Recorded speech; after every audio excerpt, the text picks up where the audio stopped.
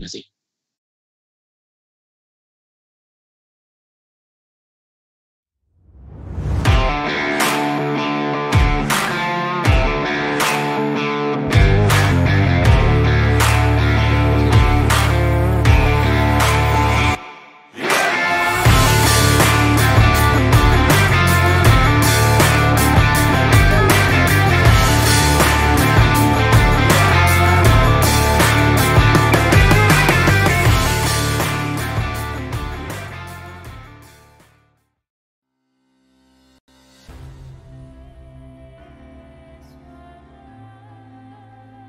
Indonesia is a country with an abundance of wealth and mineral resources.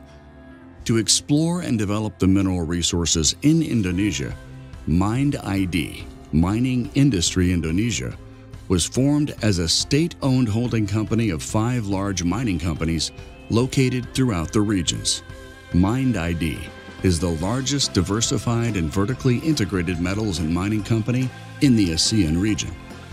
The companies under Mind ID include Antam, Bukit Asam, Freeport Indonesia, Inalum, Tima. The synergy of these five companies aims to deliver the mandate of Mind ID. Manage Indonesia's strategic mineral resources and reserves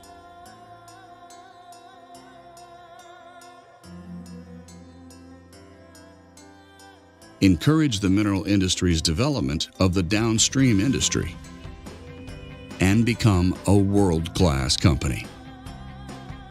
As an export-oriented, vertically diversified and integrated mining company, Antam remains committed to its exploration ventures.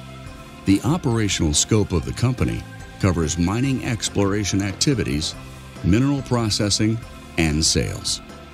Antam is also the biggest gold trading company in Southeast Asia.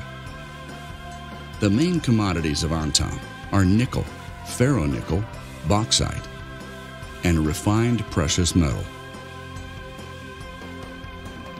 Bukit Asam produces coal from the largest reserve in Indonesia, the production capacity of which reaches tens of millions of tons each year. In line with the growth of its operational activities, Bukit Asam is also embarking on a transformation to become an energy-producing company with the construction of the steam power plant, which contributes to the power supply of the region.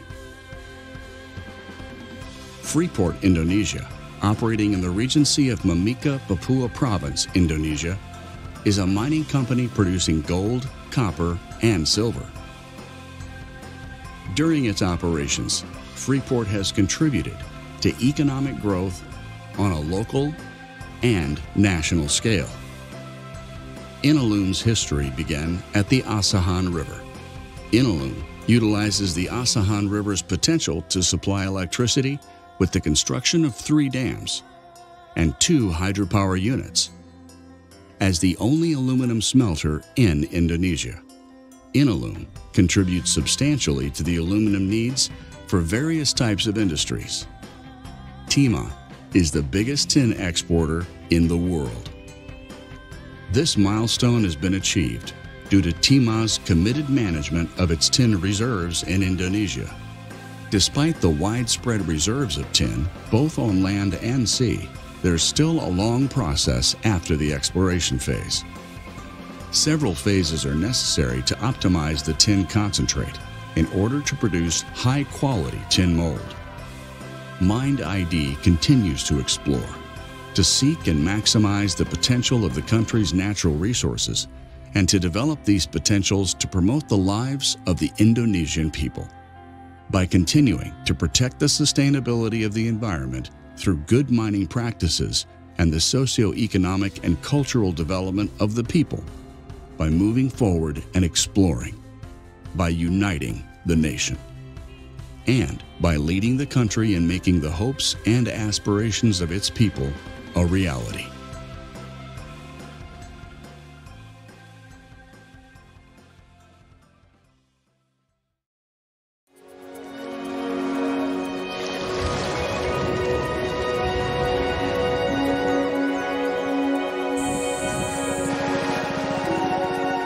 In life, it's not where you go,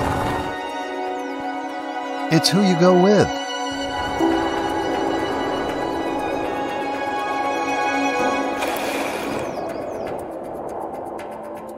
Remember those not so good old days?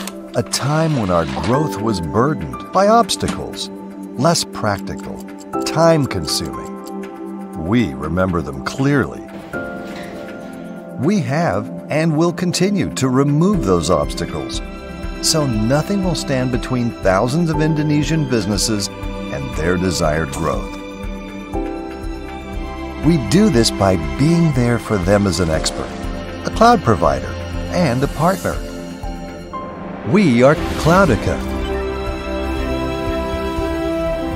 For thousands of Indonesians, Cloudica has been there in their journey towards progress, helping them to overcome obstacles and limitations that ever existed.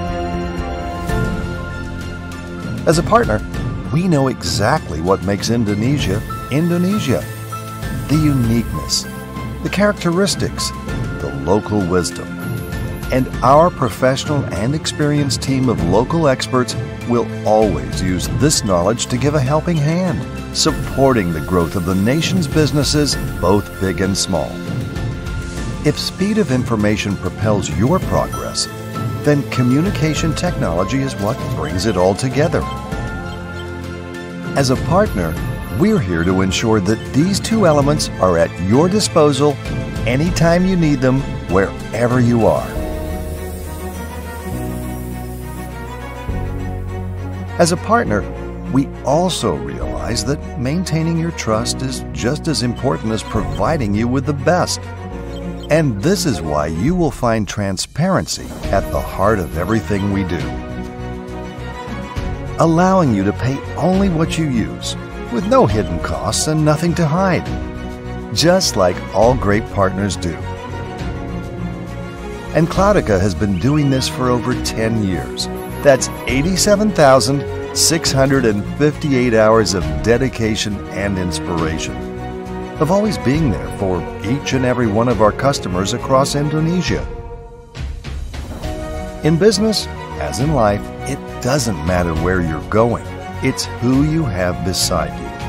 As your partner in this journey towards success, our commitment is clear to create the best integrated ecosystem of data and communication. To provide you with the number one cloud service in the country to become your Indonesian cloud partner.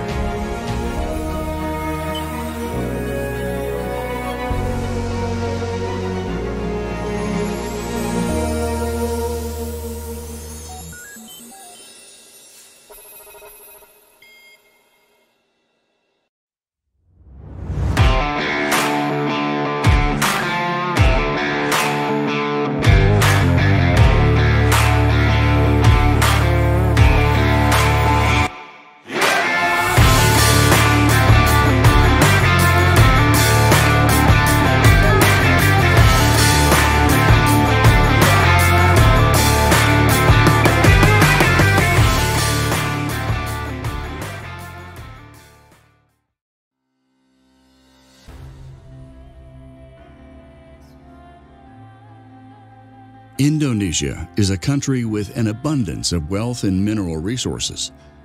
To explore and develop the mineral resources in Indonesia, Mind ID, Mining Industry Indonesia, was formed as a state-owned holding company of five large mining companies located throughout the regions. Mind ID is the largest diversified and vertically integrated metals and mining company in the ASEAN region.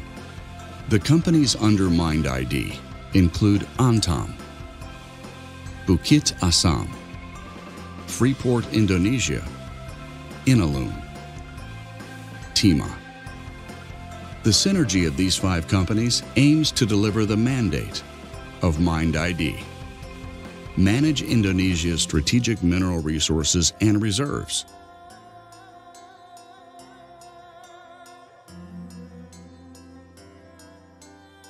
encourage the mineral industry's development of the downstream industry, and become a world-class company.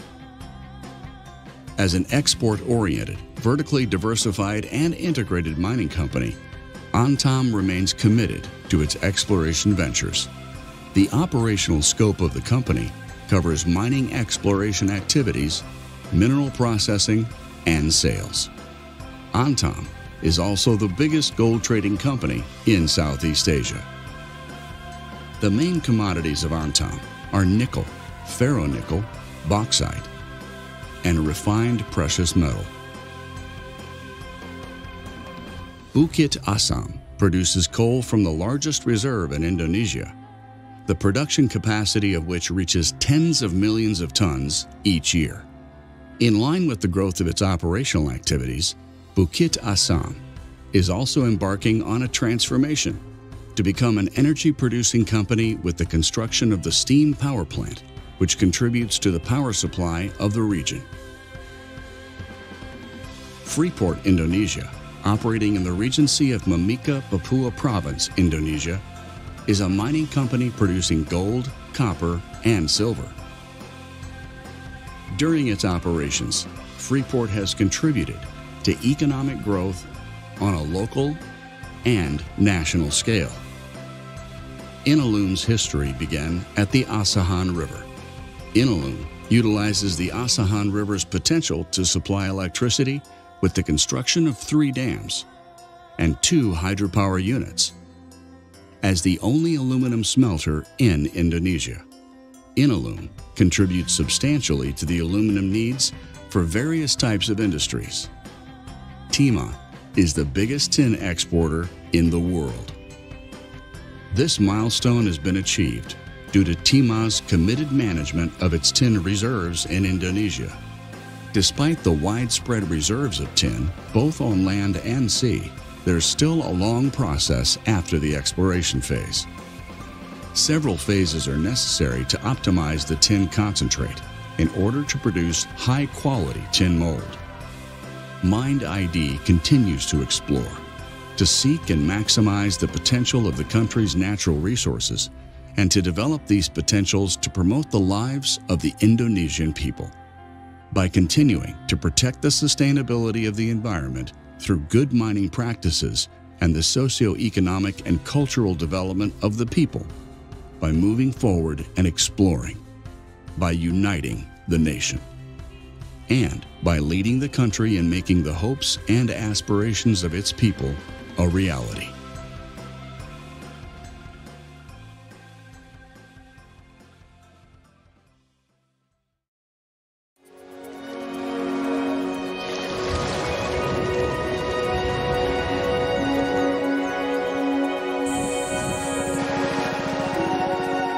In life, it's not where you go,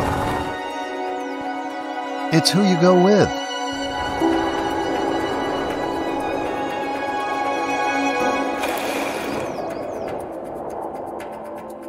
Remember those not so good old days? A time when our growth was burdened by obstacles, less practical, time consuming. We remember them clearly. We have and will continue to remove those obstacles so nothing will stand between thousands of Indonesian businesses and their desired growth. We do this by being there for them as an expert, a cloud provider, and a partner.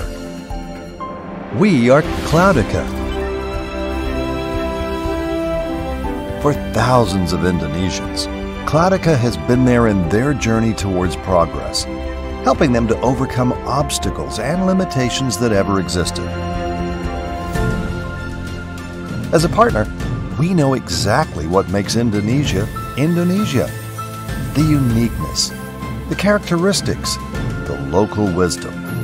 And our professional and experienced team of local experts will always use this knowledge to give a helping hand, supporting the growth of the nation's businesses, both big and small. If speed of information propels your progress, then communication technology is what brings it all together. As a partner, we're here to ensure that these two elements are at your disposal anytime you need them, wherever you are. As a partner, we also realize that maintaining your trust is just as important as providing you with the best. And this is why you will find transparency at the heart of everything we do. Allowing you to pay only what you use, with no hidden costs and nothing to hide. Just like all great partners do. And Cloudica has been doing this for over 10 years.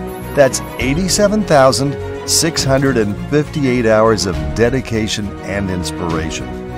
Of always being there for each and every one of our customers across Indonesia. In business, as in life, it doesn't matter where you're going, it's who you have beside you. As your partner in this journey towards success, our commitment is clear to create the best integrated ecosystem of data and communication. To provide you with the number one cloud service in the country. To become your Indonesian cloud partner.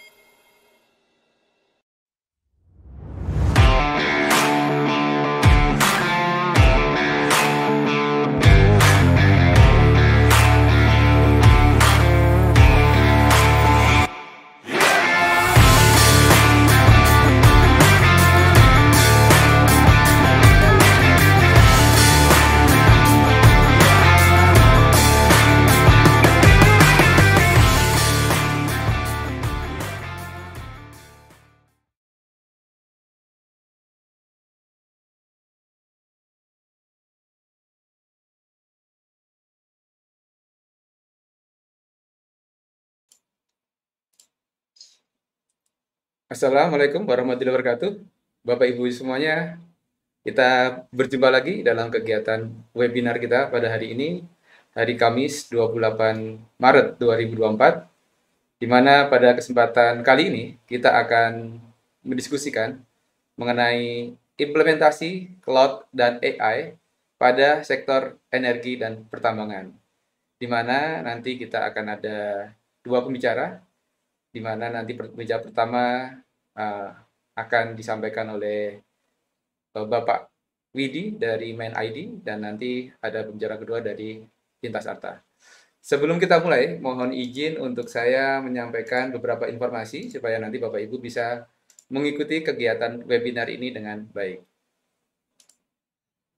Buat Bapak Ibu yang mengikuti kegiatan webinar ini dari kanal streaming kami, mungkin lewat YouTube ataupun kanal streaming kami yang lainnya, silakan untuk menuju ke event.cloudcomputing.id slash live, di mana nanti Bapak Ibu yang bergabung di platform event.cloudcomputing.id slash live ini yang kemudian akan tercatat telah hadir dalam kegiatan ini, yang kemudian nanti Bapak Ibu bisa mendownload sertifikat dan juga materi dari para pemateri.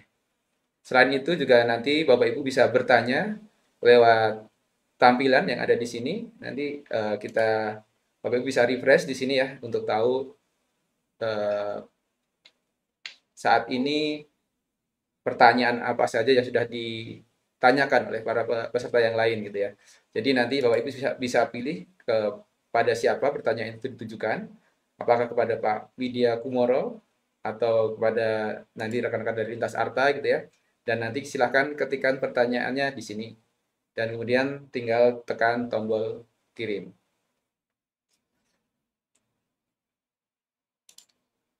Oke, baik. Kita kali ini akan membahas mengenai bagaimana implementasi cloud dan AI pada sektor energi dan pertambangan. Kita tahu bahwa sektor energi dan pertambangan ini saat ini katakanlah banyak sekali inovasi-inovasi yang ada gitu ya dan salah satunya nanti kita lihat bagaimana implementasi cloud dan AI eh, khususnya pada sektor energi dan pertambangan yang pada harapannya ini bisa membantu bagaimana para pelaku sektor energi dan pertambangan bisa bisa lebih uh, efektif efisien dalam menjalankan organisasinya.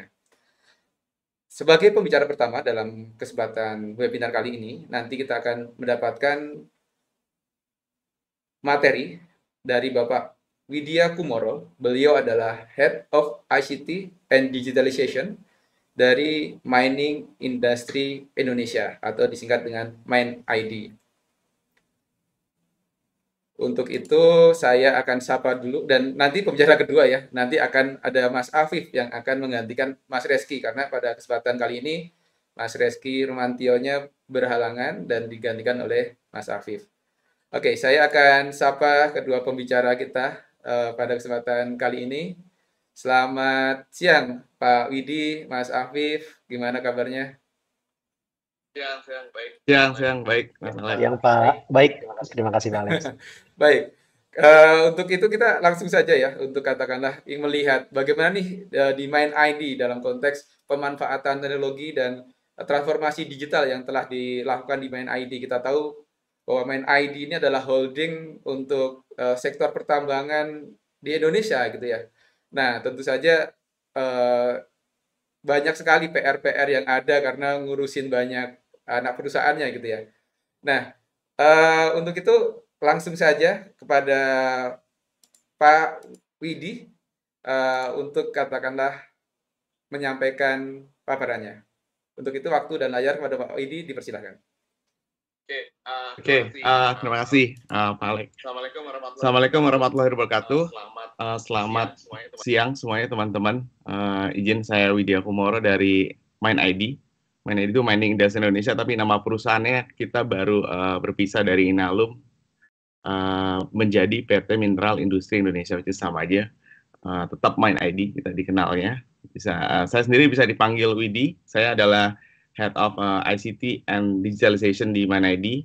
Nanti kita akan belajar sama-sama uh, ya uh, tentang Mind ID, apa yang dilakukan uh, digitalisasinya, dan bagaimana Mind ID sebagai holding membantu anggota holding atau subsidiary kita untuk berkembang di uh, area digitalisasi khususnya. Nanti kita akan belajar uh, dua topik di sini ada main ID uh, introduction biar kenal kadang orang-orang taunya uh, Freeport Indonesia, tahu Antam gitu ya. Tapi main ID sendiri uh, belum cukup dikenal gitu nanti kita introduction sedikit tentang main ID dan juga akan kita bahas tentang uh, digital transformation yang ada di main ID Group. Nah, ini adalah struktur uh, main ID sendiri ya. Jadi yang saya highlight di sini adalah yang anak perusahaannya main ID langsung. Jadi kita ada Antam, Bukit Asam. Ya. Antam kita dikenal dengan uh, tambang nikel, uh, emas ya, dan bauxit. Untuk Bukit Asam kita juga ada coal dan uh, energi khususnya. Terus di Freeport juga kita ada tembaga dan emas dan silver. Kemudian di Inalum nih khusus Inalum nih smelter ya, kita ada aluminium. Terus ada timah uh, pasti hasil tambangnya timah tentunya Vale dan uh, Main ID Trading yang bukan perusahaan tambang tapi lebih ke arah uh, trading di Main ID Group. Nah, kalau di Main ID sendiri kita sebenarnya dari sisi grup uh, kurang lebih ada 80 perusahaan ya dari cucu sampai cicitnya. Ini highlight yang besar-besarnya yang ada di uh, anak perusahaan kita. Jadi uh, tujuan kita uh, dari pemerintah Indonesia adalah untuk mengembangkan cadangan, uh, hilirisasi tentunya dan kepemimpinan pasar yang ada di Indonesia maupun global. Nah, untuk melakukan digitalisasi itu nggak cukup kita uh, dengan planning digitalisasi ya, tapi harus ada support juga dari uh, para stakeholder kita dan bahkan di Mind ID itu kita punya mandat ya, mandat uh, dari uh, pemegang saham kita dan salah satunya adalah senangnya dari saya adalah digitalisasi itu masuk dalam sisi uh, strategis kita ya, tema strategis kita itu di nomor dua. Improve cost competitiveness with digital. Jadi di situ ada turunannya pasti uh, digital transformation, which is kita sering sebut uh, industri 4.0 tapi atau smart mining kalau di mining industry ya, smart mining 4.0. Ini tujuannya untuk meningkatkan uh, beberapa hal di uh, perusahaan grup kita. Nanti mungkin lebih detailnya saya akan jelaskan di slide selanjutnya.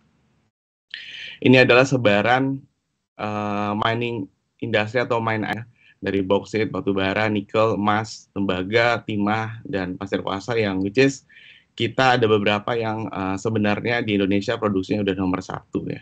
Ini kita harus cukup bangga juga dengan uh, BUMN di Indonesia ya. Nah, sebagai main ID holding itu dulu main ID menganut uh, positioning uh, sebagai holding itu namanya strategic holding, di mana fungsi korporasi itu berfokus pada uh, aktivitas seperti finance, governance gitu ya. Nah, dari dua tahun yang lalu, Mind ID akan shifting lebih dalam lagi, kita sebutnya sebagai strategic active holding. Artinya kita langsung terlibat ya, terlibat langsung dalam aktivitas yang ada di anggota holding kita. Makanya dalam sisi uh, digitalisasi juga kita akan langsung terlibat di anggota holding kita, sehingga fungsi holding ini lebih lebih apa ya, lebih menggigit ya, lebih membantu ke anggota-anggota holding kita. Nah, ini tujuannya untuk uh, pada dasarnya untuk lebih meningkatkan uh, kinerja dan uh, strategik dari anggota-anggota holding kita.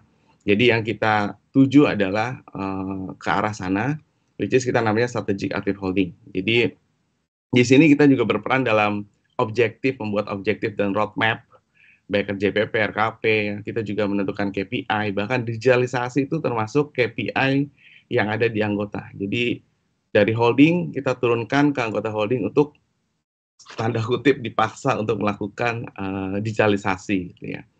Kemudian juga kita ada tata kelola tentunya dan kebijakan jadi di IT atau di digitalisasi kita juga turunkan dalam bentuk pedoman strategis dan ke semua anggota holding kita dan dari pedoman strategis itu juga kita detailkan kembali menjadi kebijakan pelaksana di IT. Jadi IT juga harus punya uh, kebijakan pelaksana apa yang harus dilakukan di anggota holding Kemudian dibuat juga KPI-nya. Jadi nanti uh, mereka melakukan itu ada penilaiannya juga. Kemudian sebagai anggota holding kita juga membantu untuk membuat struktur organisasi yang lebih lean dan memperbaiki proses bisnis tentunya dengan digitalisasi. Ya. Kurang lebih seperti itu dari uh, ID. Kemudian bagaimana uh, digitalisasi itu dilakukan di uh, ID Group ya. Jadi kita sebutnya ini ada harus ada uh, arsitektur atau roadmap terkait dengan uh, eh, IT dan OT ya. Jadi digitalisasi yang kita lakukan itu dibagi menjadi lima level atau dua kategori dari operation teknologinya atau OT sampai dengan IT-nya. Jadi dari level 1 instrumen ya kita penggunaan GPS, radar gitu ya kalau di mining industry ya RFID. Kemudian di level 2-nya juga ada SCADA, ada PLC gitu. Ya. Di level 3 kita di production management melakukan juga untuk supply chain uh, planning, fleet management, predictive maintenance gitu ya dan tentunya ada control room di setiap site kita. Kemudian yang di level 4 naik ini udah udah IT ya, uh, mungkin udah sering dengar juga yang seperti ERP, Enterprise Resource Planning. Nah ini juga menarik kenapa di grup kita nih agak berbeda uh, eh, ERP-nya. Kita melakukan development, product, uh, apa procurement, operation, plan maintenance, tentunya finance accounting ya. Nah baru di level 5 kita melakukan uh, business intelligence and, and analytic. Kita branding menjadi Mind ID Control Tower atau MCT ya. Nah, ini kita memainkan uh, big data di sini sampai keluarnya output yaitu report atau dashboard yang sifatnya untuk analitik. Oke. Okay. Sebelum ke sana, gimana Mind ID membangun uh, aplikasi uh, di grup kita ya. Jadi bukannya kita tidak melakukan conventional development ya. Jadi biasanya kan kalau programmer itu melakukan conventional development coding gitu ya dari front end, back end, kemudian middleware gitu ya, uh, dan pasti connect ke database itu secara konvensional dia bikin code uh, baik itu dari sisi mobile ataupun web ya. Kita juga saat ini sudah mengadopsi yang namanya low code platform. Bukannya no code sebenarnya lebih ke low code platform ya. Jadi based on template kita menggunakan beberapa uh, teknologi yang konvensional tetap ada tapi beberapa aplikasi kita sudah mulai uh, membangun dalam uh, framework low code. Jadi sekali bikin code ya, nggak perlu banyak-banyak code karena ini udah template based dan uh, service based. Jadi uh, bisa outputnya bisa langsung di compile dalam bentuk uh, native mobile application ya, baik iOS atau Android ataupun uh, web app ya, dan bisa juga service kalau kita mau uh, integrasi ke aplikasi atau ke sistem yang lain. Kemudian dari sisi ERP tadi yang saya bilang menarik adalah saat ini MindID itu grupnya kebanyakan uh, eh, SAP tapi SAP-nya nggak semua gitu. Jadi ada beberapa ada yang ada Perhana, ada yang sisi yang lama, ada yang Business One, bahkan ada yang masih pakai Ellipse gitu ya. Nah, ini kan masing-masing punya sendiri, masing-masing punya infrastruktur sendiri, masing-masing punya bisnis proses sendiri gitu ya. Bahkan uh, kalau kita bicara chart of account dari sisi finance itu macam-macam, strukturnya beda-beda karena bisnis prosesnya juga beda-beda. Uh, pastinya manual proses, instannya sendiri gitu ya, multiple jadinya dalam satu grup kok jadi banyak uh, ERP system. Nah, yang kita lakukan saat ini adalah untuk membuat standarisasi atau single source of truth uh, eh, ERP system. Jadi kita hanya punya satu ERP system. Tujuannya adalah uh, standarisasi tentunya, contingency, terus kemudian uh, integrated, kemudian traceability itu juga penting. Nah, kenapa kita lakukan itu? Agar satu holding itu punya standar yang sama. Bahkan chart of account-nya pun kita lakukan standarisasi. Kita sebutnya chart of account harmonization ke semua anggota holding kita. Jadi secara struktur kurang lebih mirip. Jadi pada saat kita membuat konsolidasi keuangan itu akan jauh lebih uh, mudah dan dan lebih uh, countable ya. Nah, single ERP ini sebenarnya tujuannya untuk kita uh, ada satu aja satu version atau satu instances gitu ya dan punya global template yang satu gitu. platformnya juga satu akhirnya juga punya satu centralized executive dashboard gitu ya. Jadi values-nya itu nanti ke arah standarisasi, integration, control tentunya, dan visibility ke uh, level management. Which is ini jadi uh, kenapa saya lakukan ini? Kita melakukan ini tujuannya adalah untuk juga efisiensi dari sisi cost. Ya. Kemudian dari sisi data analitik, MindID juga telah melakukan kita sebutnya manajemen control tower. Jadi kita semua data dari uh, nggak hanya ERP ya, jadi surrounding apps-nya atau satellite apps-nya juga dari semua anggota holding kita kita integrasikan baik dari Nalum, Antam atau anggota holding kita yang lain. Bahkan kalau ada uh, project strategis itu dari cucu perusahaan juga kita masukkan. Dan juga integrasi ke pihak eksternal ya dari Kementerian BUMN atau eksternal yang lain termasuk Simbara dimasukkan dalam data, integration, kita punya big data di sana, terus kita virtualisasikan datanya. Jadi nanti ada uh, data virtualization bisa untuk konsumsi data kita atau data as a service kita sebutnya. Atau kalau ada koneksi aplikasi lain, mau connect aplikasi yang lainnya menggunakan API, kita juga bikin API management, jadi security-nya gitu ya dan monitoringnya, gitu, otorisasinya semua di di setup di sana, di konfig di sana. Jadi data consumption kita juga jadi lebih uh, secure ya dan lebih baik. Tentunya manageable-nya juga jadi lebih ngebantu. Jadi nanti yang konsum juga bisa dipresentasikan dalam bentuk uh, presentation layer dalam bentuk uh, Power BI atau Tableau gitu ya atau atau presentation yang lain, even Excel juga sebenarnya bisa konsum. Terus kalau ada super apps lain juga kita bisa konsum, mereka bisa konsum dengan API kita. Bahkan eksternal juga kalau mau konsum data kita ya, karena kita juga ada uh, dari Kementerian BUMN itu minta data-data langsung dari ID itu kita bisa langsung kasih melalui uh, API atau data consumption kita. Dan ini semua diintegrasikan dalam satu uh, kontrol atau dalam satu sistem yang kita branding namanya ID Control Tower atau Mind Control Tower. Nah lanjut untuk yang arsitektur ini kita sebenarnya tujuannya adalah untuk mengimprove tentunya mengimprove decision maker kita ya. Jadi biar mereka juga dapat visualisasi yang lebih baik dan tujuannya kembali adalah untuk membuat corporate planning jadi lebih tepat dan lebih bagus gitu ya. Karena industri mining ini nggak hanya jalan di setahun atau dua tahun tapi panjang ya kita ada yang lima bahkan ada 25 tahunan untuk kita bikin planning single source of information jadi jelas supaya uh, data itu jadi values itu karena kita juga uh, memprosesnya dengan baik. Tentunya kalau bicara digitalisasi yang kita bikin ya, ini arsitektur kita di IT uh, Noti Convergence itu hanya ma tujuan utamanya itu adalah semata-mata untuk mengincrease productivity, ujung-ujungnya itu duit atau revenue ya. Kemudian kita improve atau istilah Nah, kalau saya boleh pakai istilah uh, di root bear itu uh, boost up uh, productivity gitu ya atau grow efisiensi, ya efisiensinya tentu harus diimprove ya dengan menekan cost tentunya, menekan cost, kemudian kita juga mengoptimize apa yang sudah ada di capital kita, capital cost kita, dan yang paling penting adalah reduce operational risk. Nah ini juga penting karena kalau digitalisasi yang dilakukan semata-mata untuk itu uh, tadi ya untuk efisiensi, productivity, tapi resikonya bertambah itu juga uh, jadi masalah. Jadi resiko tuh kalau perlu teman-teman IT di sini ya kalau ada itu registerkanlah uh, program atau inisiatif-inisiatif teman-teman di teman-teman yang ada di divisi risk ya. Jadi kita dapat tekanan juga dari divisi risk untuk melakukan digitalisasi. Bahkan kalau di kementerian itu juga ada top 10 risk ya, di mana uh, digitalisasi juga itu masuk ke sana juga. Nah, ini teknologi yang salah satu yang kita sebenarnya kita ada beberapa teknologi yang kita implement di grup kita, tapi ini uh, saya ceritakan uh, beberapa yang sudah dilakukan.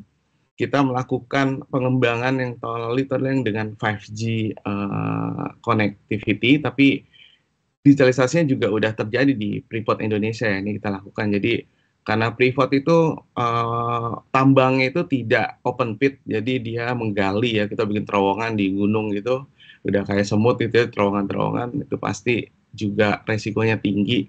Nah, alat yang bikin kita melakukan digitalisasi adalah semua alat berat yang ada di tambangnya Freeport itu itu dikendalikan dari jarak jauh. Jadi dikendalikannya itu dari office, jauh dari tempat lokasi site. Nah, itu semuanya ya, termasuk blasting terus uh, apa deliver uh, hasil tambangnya gitu ya. Terus kemudian blasting lagi gitu berapa level ya. Itu semua dikendalikan dari jarak jauh. Tentunya kita masih memerlukan teknologi uh, latency throughput coverage dan uh, pasti machine learning juga ya kita juga pasang machine learning juga di PT Freeport ini untuk mendeteksi apakah ada kemungkinan uh, tanah ini mengandung lumpur kemudian uh, akan ada tindak lanjutnya ketika ada satu bagian yang uh, sudah mengandung lumpur atau berpotensi untuk mengeluarkan lumpur itu juga kita deteksi. Nah ini contoh pekerja-pekerja kira uh, kita ya di Papua sana di PT Freeport Indonesia. Nah mereka sudah bekerja melakukan uh, remote alat-alat berat kita di site gitu ya. Jadi nggak perlu pakai helm lagi Bapak Ibu karena ini kerjanya di office gitu ya. Cuman tetap pakai seragam gitu ya. Uh, mereka bisa sambil uh, apa dengan ya jadi soft skillnya juga lebih ke apa ya lebih menarik lah bahkan saya cerita kemarin sama teman-teman di Freeport untuk merekrut orang-orang atau engineer ini ini harus punya apa ya punya feel untuk dia minat untuk main game gitu. karena mirip-mirip kita ngedrive uh, main game ya daripada kita ngedrive langsung di alat-alat beratnya. Nah ini contohnya untuk connectivity kita pakai 5G karena biar responsif, latensinya juga kecil dan uh, lebih aman tentunya safe ya. Jadi mereka uh, kurang lebih seperti ini tampilannya. Kalau Bapak Ibu ke Papua atau Freeport juga seperti ini juga. Yang kedua kita melakukan juga uh, eh, AI di PT Antam ya kita sebutnya geologi. Jadi ini digital transformation yang kita sudah apply uh, menggunakan AI uh, untuk mengidentify eh, rock atau batuan ya dari drilling core itu untuk proses eksplorasi gitu ya. Ini kita juga lagi coba kembangkan lebih la dalam lagi karena kita juga pengen pakai AI yang lebih deep, yang lebih uh, apa namanya lebih dalam lagi. Kemarin kita juga ada diskusi uh, sama Gen AI juga untuk pengembangan ini. Jadi dari dari bebatuan itu kita foto ya, kita foto dengan uh, gambar tersebut kita masukkan ke dalam sistem, nanti sistemnya itu bisa uh, membaca uh, gambar tersebut dan menganalisa, gitu ya. Kemudian ditaruh di database, hasilnya nanti akan ketahuan. Jadi batu ini kurang lebih menghasilkan atau mengandung uh, mineral apa saja, kurang lebih seperti itu. Dan itu akan membantu teman-teman uh, dari eksplorasi ya, yang biasanya harus dibawa dulu sampelnya, kemudian ditaruh di lab, dan butuh proses yang lebih panjang. Dengan ini at least kita mengetahui uh, walaupun tingkat akurasinya nggak 100% ya, tapi ini sangat membantu. Kemudian kita juga melakukan di uh, Bukit Asam medialisasi uh, angkutan kereta. ini terintegrasi dengan uh, KAI ya. Jadi semuanya udah dilakukan secara digitalisasi, locomotive position. Jadi uh, kereta yang membawa batu bara ini uh, kalorinya berapa gitu ya, estimated arrival-nya itu kapan. Itu semua udah kita bisa ketahui langsung ya, bisa dimonitor langsung dari uh, pusat operation atau kita war room-nya di Bukit Asam dan kita juga bisa langsung tahu stock information-nya terintegrasi dengan MCT yang tadi Management Control Tower. Jadi kita tahu nih kita punya stok di file ini berapa ton gitu ya, kalau dengan kalori berapa gitu ya semuanya itu bisa diketahui. Ini juga sangat membantu uh, proses operation kita di tambang. Nah, yang baru kita mau lakukan tahun ini itu adalah digital twin di uh, Inalum. Jadi Inalum basically ini adalah uh, smelter ya atau pabrik aluminium yang mengubah dari biji aluminium ke aluminium bentuknya ada bilet, uh, ya ada alloy gitu ya. Nah dari sana uh, prosesnya itu sangat banyak ya dari sampai kita bikin anodanya juga yang uh, sifatnya karbon gitu ya. Terus kita juga ada punya pembangkit listrik karena masak aluminium itu pakai listrik Bapak Ibu. Nah itu semua nanti kita bikinkan uh, digitalisasi visualisasinya kita sebutnya digital twin. Nah berharap digital twin ini nggak hanya mengetahui tapi juga bisa sampai uh, komen ke beberapa uh, proses ya. Jadi mengurangi resiko juga di sana. Jadi kita penggunaan sensor, IoT dan teman-temannya. Kurang lebih seperti itu. Nah ini proses yang digital twin ini akan lari ke uh, tentunya ada dashboardnya ya. Dashboardnya itu bisa visualisasi 3D, kemudian dari engineering information-nya, asset information, jadi aset yang perlu di, uh, karena banyak sekali kalau di pabrik itu ya, banyak sekali asetnya dan itu jangkauannya juga susah banget, jadi termasuk logistik, operation, ke maintenance, itu kita jangkau semua dengan digital twin ini. Kurang lebih itu Bapak Ibu untuk diskusi singkat kita uh, terkait apa saja yang di, sudah dilakukan digitalisasi di Mind ID Group. Mudah-mudahan bisa men-trigger teman-teman uh, untuk melakukan digitalisasi juga di tempatnya masing-masing. Anytime kalau misalnya kita perlu diskusi lanjutan mungkin uh, boleh berkunjung ke MindID. Uh, saya kembalikan uh, screen ke Pak Alex. Silakan Pak Alex. Terima kasih Pak Widi atas uh, paparannya yang sangat menarik ya. Tadi disampaikan apa saja yang sudah dilakukan oleh MindID. Tadi digital twin, ada AI, tadi bahkan menarik uh, untuk menjalankan alat-alat berat tadi udah cukup dari ini ya apa uh, dari kantor gitu ya nggak panas-panasan jadi menarik sekali yeah. Pak Widi. Iya. Yeah.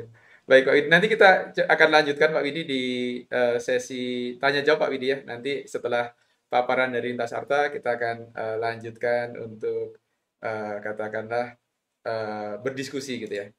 Oke, uh, Bapak Ibu semuanya, selanjutnya kita akan uh, mendapatkan materi dari uh, Lintas Arta.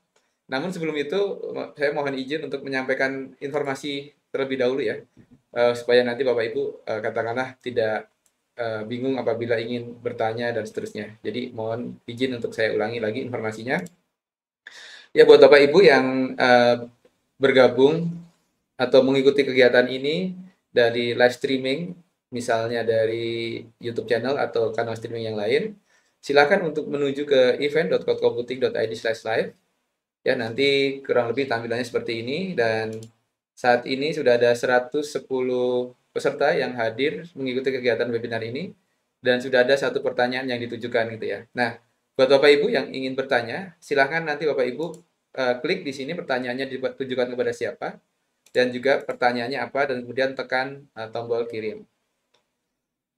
Oke, uh, nanti pertanyaan yang muncul di platform event.co.id/live yang nanti akan dibacakan dalam kegiatan atau dalam sesi tanya jawab. Oke, berikutnya kita akan langsung mendapatkan paparan yang kedua, di mana pada paparan yang kedua ini kita akan mendapatkan materi dari lintas ATA. Nah, sudah bergabung bersama kita uh, Mas Salsabil Afif. Mas Afif, bagaimana nih kabarnya Mas Afif? Alhamdulillah. baik Pak Alex, thank you. Alhamdulillah baik juga Mas Afif. Ini tadi saya dapat info Mas Reskinya nggak bisa hadir ya, jadi Mas Afif yang mewakili. Nah, Mas Afif ini adalah product manager ya. dari Lintas Arta yang uh, tadi uh, katakanlah saya baca berita juga ada banyak kerjasama dengan Nvidia uh, terkait juga bagaimana menyediakan platform untuk rekan-rekan uh, bisa berkreasi terkait dengan artificial intelligence. Nah, Mas Afif, kalau boleh tahu nih, kira-kira apa saja nih materi-materi yang akan disampaikan dalam kesempatan kali ini ya? Iya, thank you Mas Alex. Jadi pastinya kita akan cerita ya. Uh, mungkin tadi sudah dijelaskan sudah cukup banyak oleh Pak Widi, tapi memang kita coba share lagi lah terkait use case use case apa sih yang bisa kita lakukan dengan AI dan relasinya dengan GPU seperti apa. Gitu. Kenapa? Karena memang uh, di sini kita juga mau informasikan kita sudah melakukan satu kerjasama strategis dengan NVIDIA untuk menyediakan layanan GPU di Indonesia yang memang nanti fokusnya akan lebih banyak ke uh, mendukung layanan AI terutama Gen AI ya yang nanti akan running di Indonesia. Baik, kalau gitu langsung saja Mas Afif. Waktu dan layar untuk Mas Afif dipersilahkan. Thank you sekali lagi Mas Alex. Ya, selamat siang uh, Bapak dan Ibu sekalian. Thank you. Uh, sebelumnya salam kenal ya. Saya Afif. Uh, Salsabil Afif, biasa dipanggil Afif. Saya adalah product manajernya uh, Cloud Deka dari Lintas Arta, di mana kami adalah salah satu bisnis unit yang memang fokus memberikan layanan cloud uh, untuk seluruh pelanggan-pelanggan kami di Indonesia. Oke, okay, uh, adapun di sini saya akan membawakan sedikit informasi terkait uh, apa sih uh, DK GPU ini ya, salah satu produk kami yang fokus di GPU dan impact-nya terhadap acceleration AI itu seperti apa. Uh, mungkin sebelum kita bahas terlalu jauh, mungkin ada yang sudah tahu, ada yang belum apa itu AI. AI ini adalah sebuah teknologi artificial intelligence yang memungkinkan komputer ya atau mesin untuk melakukan pekerjaan manusia untuk uh, task yang spesifik ataupun task yang sulit. Gitu ya. Beberapa model yang saat ini sedang populer, di antaranya adalah uh, eh, NLP atau Natural Language Processing yang bentuknya seperti mungkin kita sudah banyak yang pakai juga ChatGPT. Ada juga uh, robotik Ya, mungkin tadi kalau misalnya kita sempat mendengar tadi presentasi dari Pak Widi terkait implementasi uh, remote terkait kendaraan ya, itu juga menggunakan konsep robotik yang menggunakan machine learning dan juga implementasi untuk uh, computer vision ya mungkin tadi ya kalau kita lihat ada juga implementasinya tadi di uh, main ID terkait dengan uh, use case yang ada di Antam. Nah, untuk AI sendiri yang common uh, use case-nya di uh, research industry. Di antaranya tuh uh, ada yang digunakan sebagai machine learning dan juga predictive analytics, robotic dan automation dan juga Internet of Things di mana semuanya ini memanfaatkan AI untuk membantu proses supaya lebih cepat dan juga uh, berjalan sesuai prosedur yang uh, dicanangkan oleh perusahaan-perusahaan itu sendiri.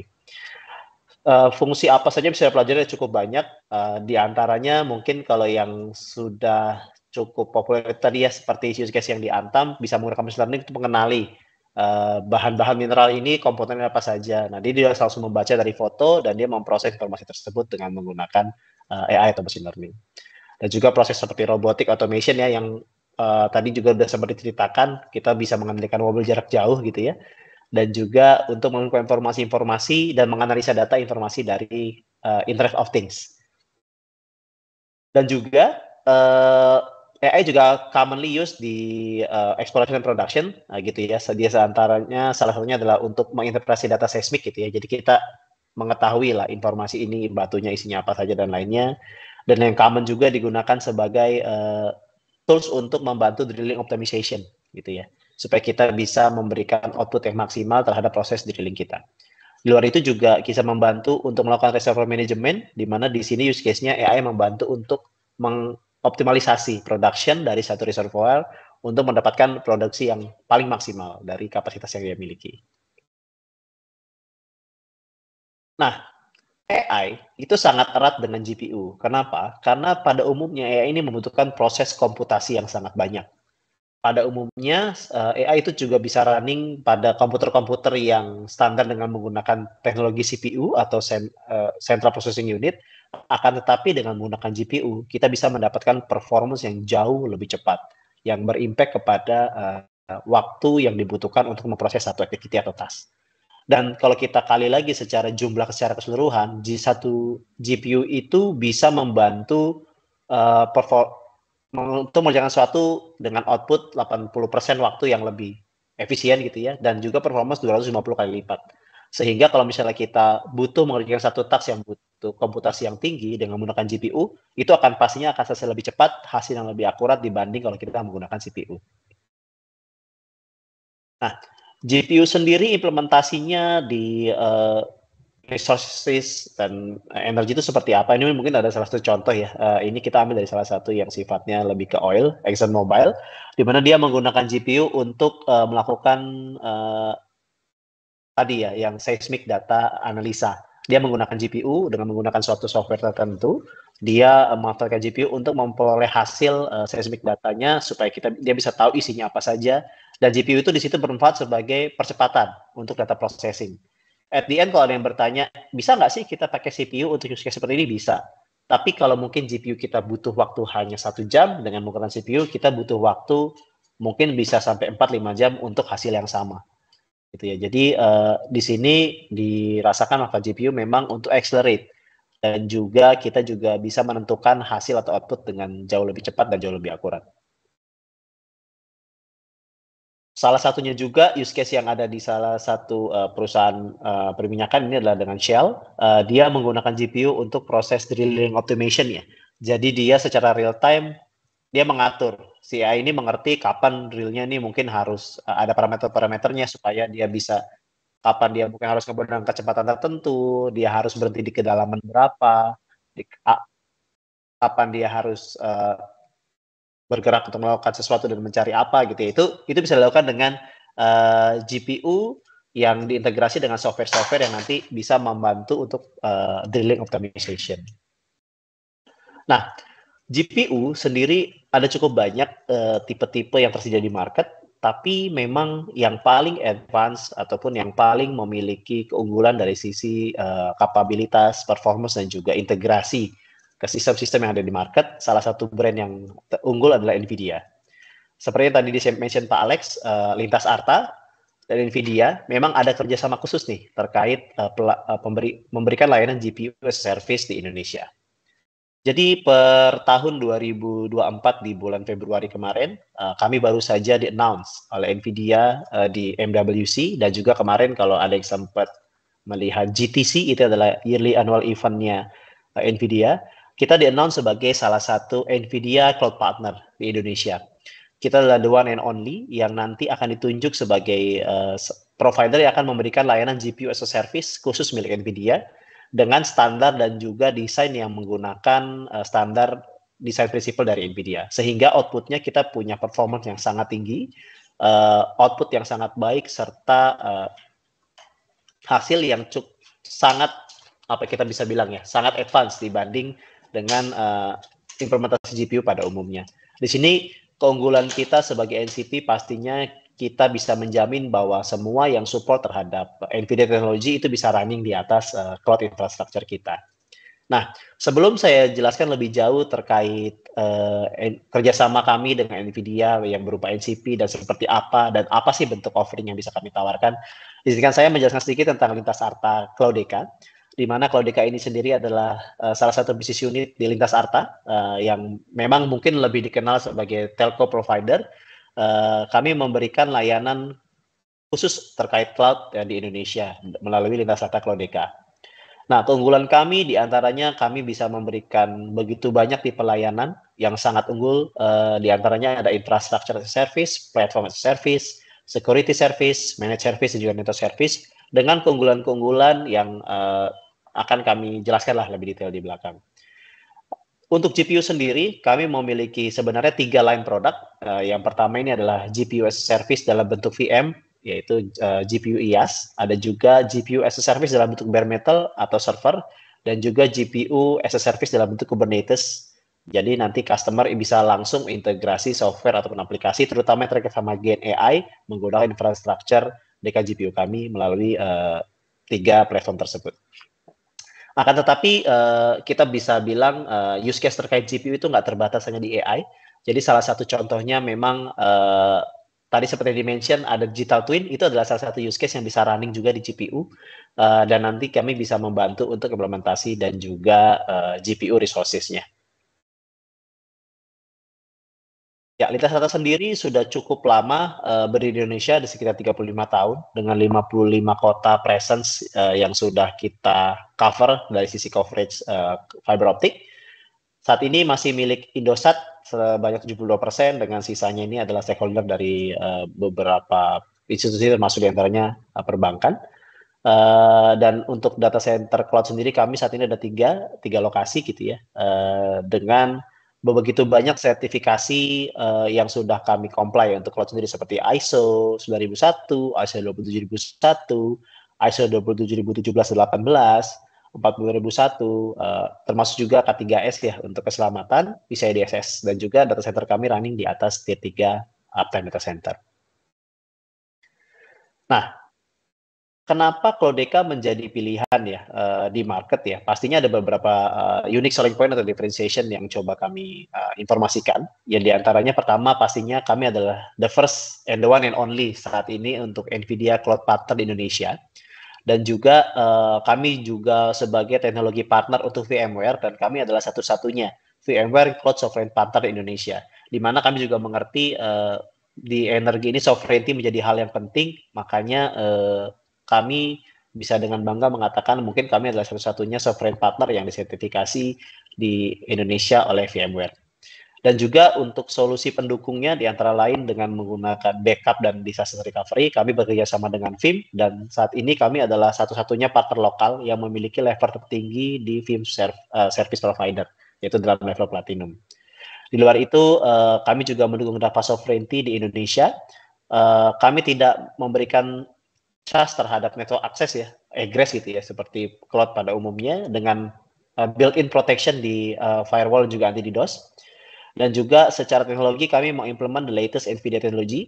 Jadi uh, cloud uh, GPU kami akan ready di uh, Q2 atau awal Q3 2024 ini itu sudah mengimplementasi all latest NVIDIA teknologi termasuk di antaranya mungkin ada beberapa yang seperti eh, BF3, Mellanox uh, yang sampai kapasitas 800 GB dan juga beberapa GPU series yang memang saat ini masih menjadi uh, top uh, levelnya yang ada di market.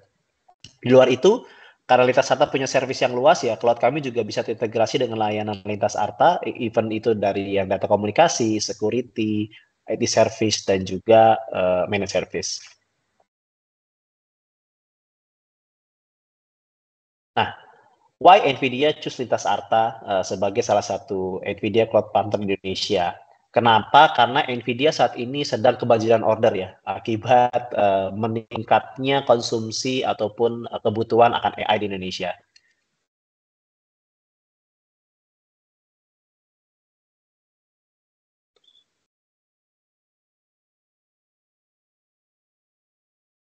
Ya, mohon maaf. Dan juga uh, dari sisi market sendiri, Nvidia ini saat ini menjadi top ya uh, terkait penggunaan uh, AI, GPU untuk AI uh, sampai 95% dan market cap sudah mencapai 2,3 triliun USD. Nah, salah satu syarat dari Nvidia agar kita bisa menjadi NCP diperlukan satu investment yang cukup besar. Di, di sini kami bisa informasikan kami ber, uh, berinvestasi cukup tinggi untuk Nvidia untuk Nvidia GPU as service ini hingga mencapai 200-an juta dolar dengan kapasitas data center yang cukup powerful karena memang GPU ini lumayan membutuhkan teknologi yang uh, membutuhkan energi listrik yang cukup banyak gitu ya. Makanya desain data center juga harus khusus dan juga uh, dengan kami menjadi Nvidia Cloud Provider, pastinya kami bisa mendukung untuk implementasi GPU dengan cepat. Karena saat ini paling cepat informasi di market untuk tipe-tipe GPU tertentu, kita bisa dapatkan itu paling cepat dalam waktu 16 minggu, bahkan ada yang paling parah uh, itu sampai 52 minggu untuk mendukung uh, jalannya AI gitu ya. Kalau misalnya kita GPU-nya baru sampai setahun kemudian gitu ya, kapan kita mau bikin software ya gitu. Makanya di sini kami sebagai Nvidia provider berusaha memberikan uh, GPU kapan saja dan juga uh, onboard kapan saja sesuai kebutuhan. Untuk tipe GPU yang kami offer saat ini adalah uh, best GPU type yang ada di market yang available, yaitu di antaranya NVIDIA H100 dan juga NVIDIA L40S di mana memang secara tipe yang NVIDIA Hasrels ini lebih fokus ke AI atau machine learning, yang L40S ini lebih banyak digunakan untuk general use case seperti rendering. Tadi kalau misalnya kita ngomong digital twin, itu kemungkinan akan menggunakan L40S. Ataupun uh, low level untuk yang GNA yang tidak membutuhkan kapasitas memori cukup uh, tinggi. Ya, perbedaan tipenya mungkin bisa saya sampaikan kalau uh, secara performance H100 itu akan jauh lebih tinggi daripada L40S, uh, akan tetapi uh, secara fungsionalitas L40 itu bersifat lebih universal. Untuk produk GPU sendiri, kami mencoba menawarkan dalam beberapa model. Yang pertama ini adalah uh, AI ML in Kubernetes atau TTD yang saya sampaikan di GPU on Kubernetes. Uh, yang bentuknya nanti customer itu bisa langsung integrate kalau misalnya udah pakai LLM gitu ya, LLM pipeline-nya langsung ke GPU uh, Kubernetes kita. Luar itu ada bentuknya virtualisasi yang bentuknya VM yang ada virtual GPU-nya. Ada ada juga yang bentuknya adalah server server bare metal service di mana kita menggunakan satu server satu kesatuan dengan GPU-GPU yang ada di dalamnya. Di luar itu kami juga sedang membuild solusi terkait render farm. Ini adalah solusi untuk melakukan rendering ya di cloud gitu ya. Jadi kalau misalnya ada kebutuhan untuk merender satu gambar ataupun 3D graphic itu nanti bisa dilempar ke cloud kita dan akan dirender di cloud kita sehingga nanti outputnya bisa langsung digunakan di onsite-nya uh, pelanggan. Di luar itu, kita juga mencoba mengintegrasikan dengan VDI sehingga kalau ada use case use case seperti uh, kebutuhan untuk running aplikasi di desktop, di desktop level, nggak perlu kita punya uh, desktop yang banyak, kita bisa memanfaatkan teknologi uh, VDI. Adapun uh, per, uh, detailnya terkait layanan DKGPU di Kubernetes ini, uh, kita akan memberikan uh, layanan uh, platform di mana uh, kita akan meng-manage sampai level Kubernetes dan customer itu akan bisa manage data dan aplikasi yang di atasnya.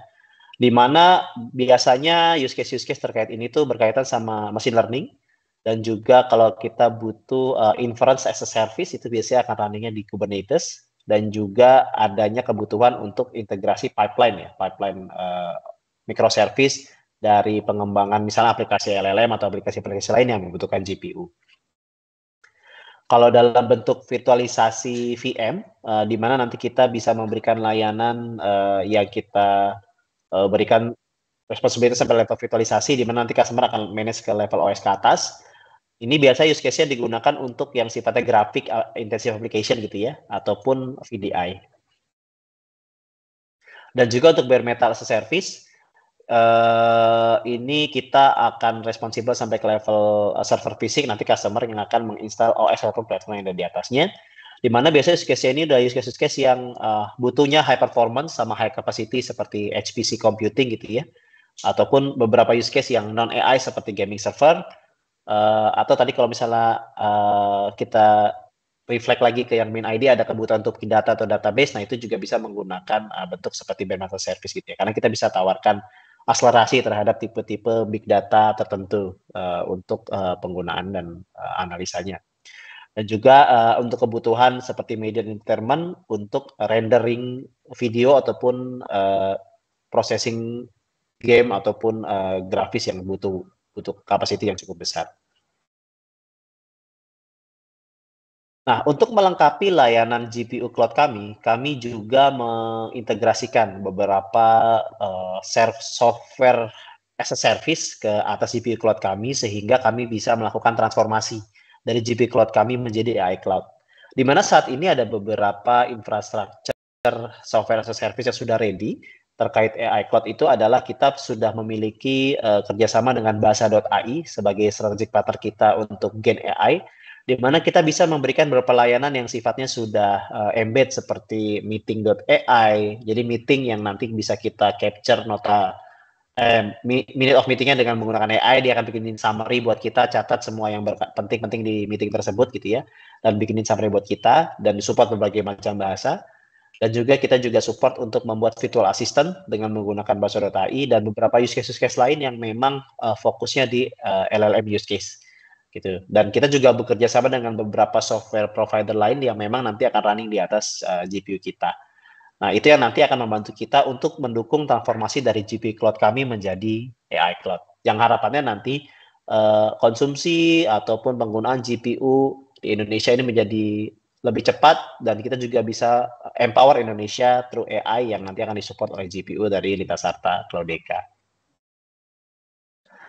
Ya, mungkin sekian presentasi dari saya Mas Alex. Saya kembalikan ke Mas Alex. Thank you Mas Alex.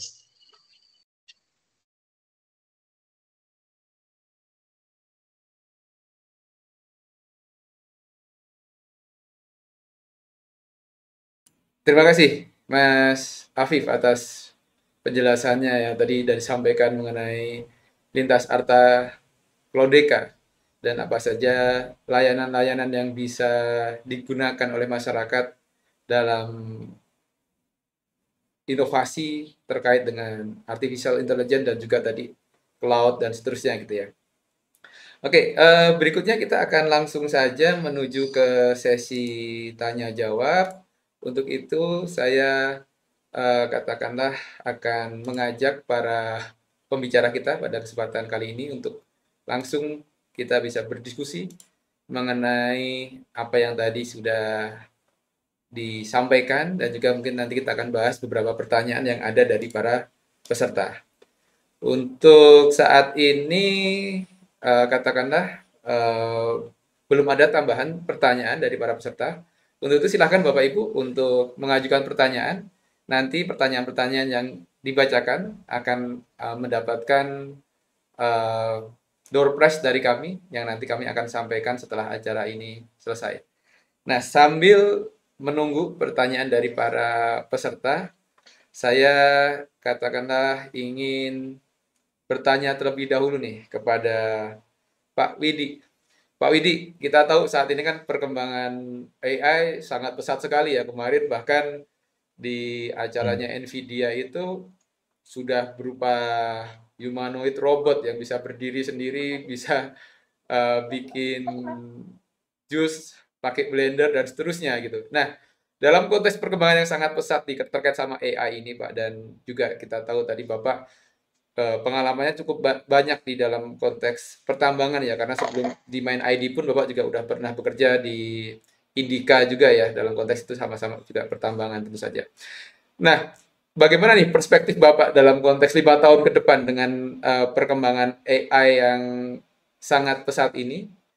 Apa saja kira-kira menurut Bapak yang akan terjadi yang kira-kira bisa mendisrupsi uh, perkembangan uh, sektor industri katakanlah pertambangan ini ke depannya? Silakan Pak Widi.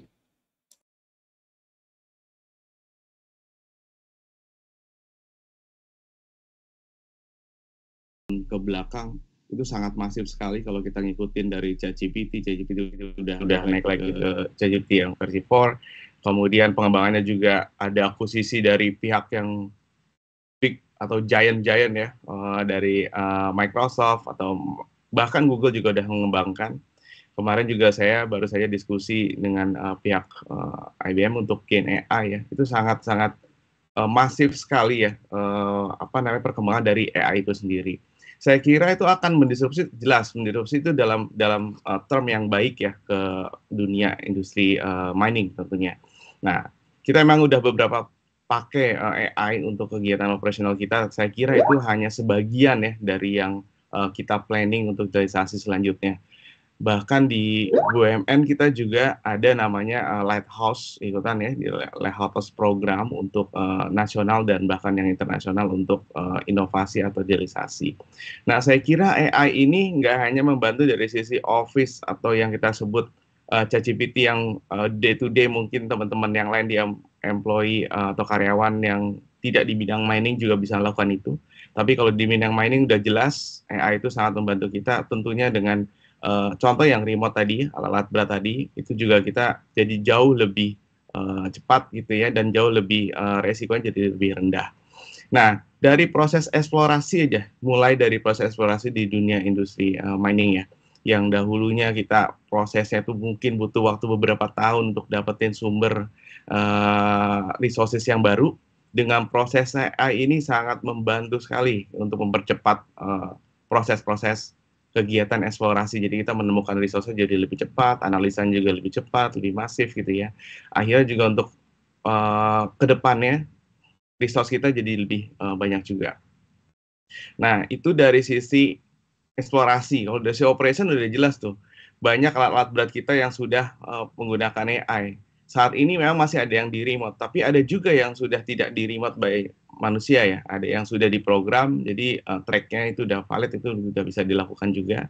Nah, dari sisi AI yang lain itu adalah big data atau main analytic data. Nah, mereka juga AI ya maksudnya itu juga bisa membantu dari sisi uh, apa preventive maintenance, nah itu yang sangat penting untuk kita. Nah itu akan merubah operasional kita jauh lebih uh, baik lagi ya.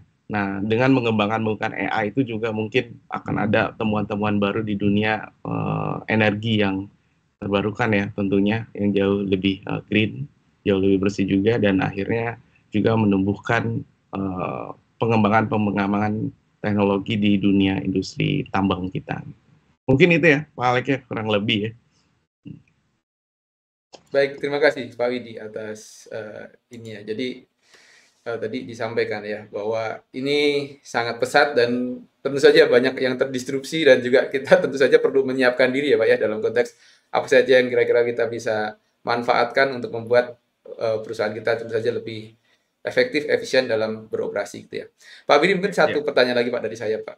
Tadi kan uh, disampaikan bahwa di uh, dari teman-teman lintas arta itu kan menyampaikan bahwa apa keunggulannya dari katakanlah uh, layanan uh, lintas arta Klodeka yang tadi disampaikan salah satunya mengenai uh, data sovereignty gitu ya bahwa data itu akan ada di Indonesia dan seterusnya gitu.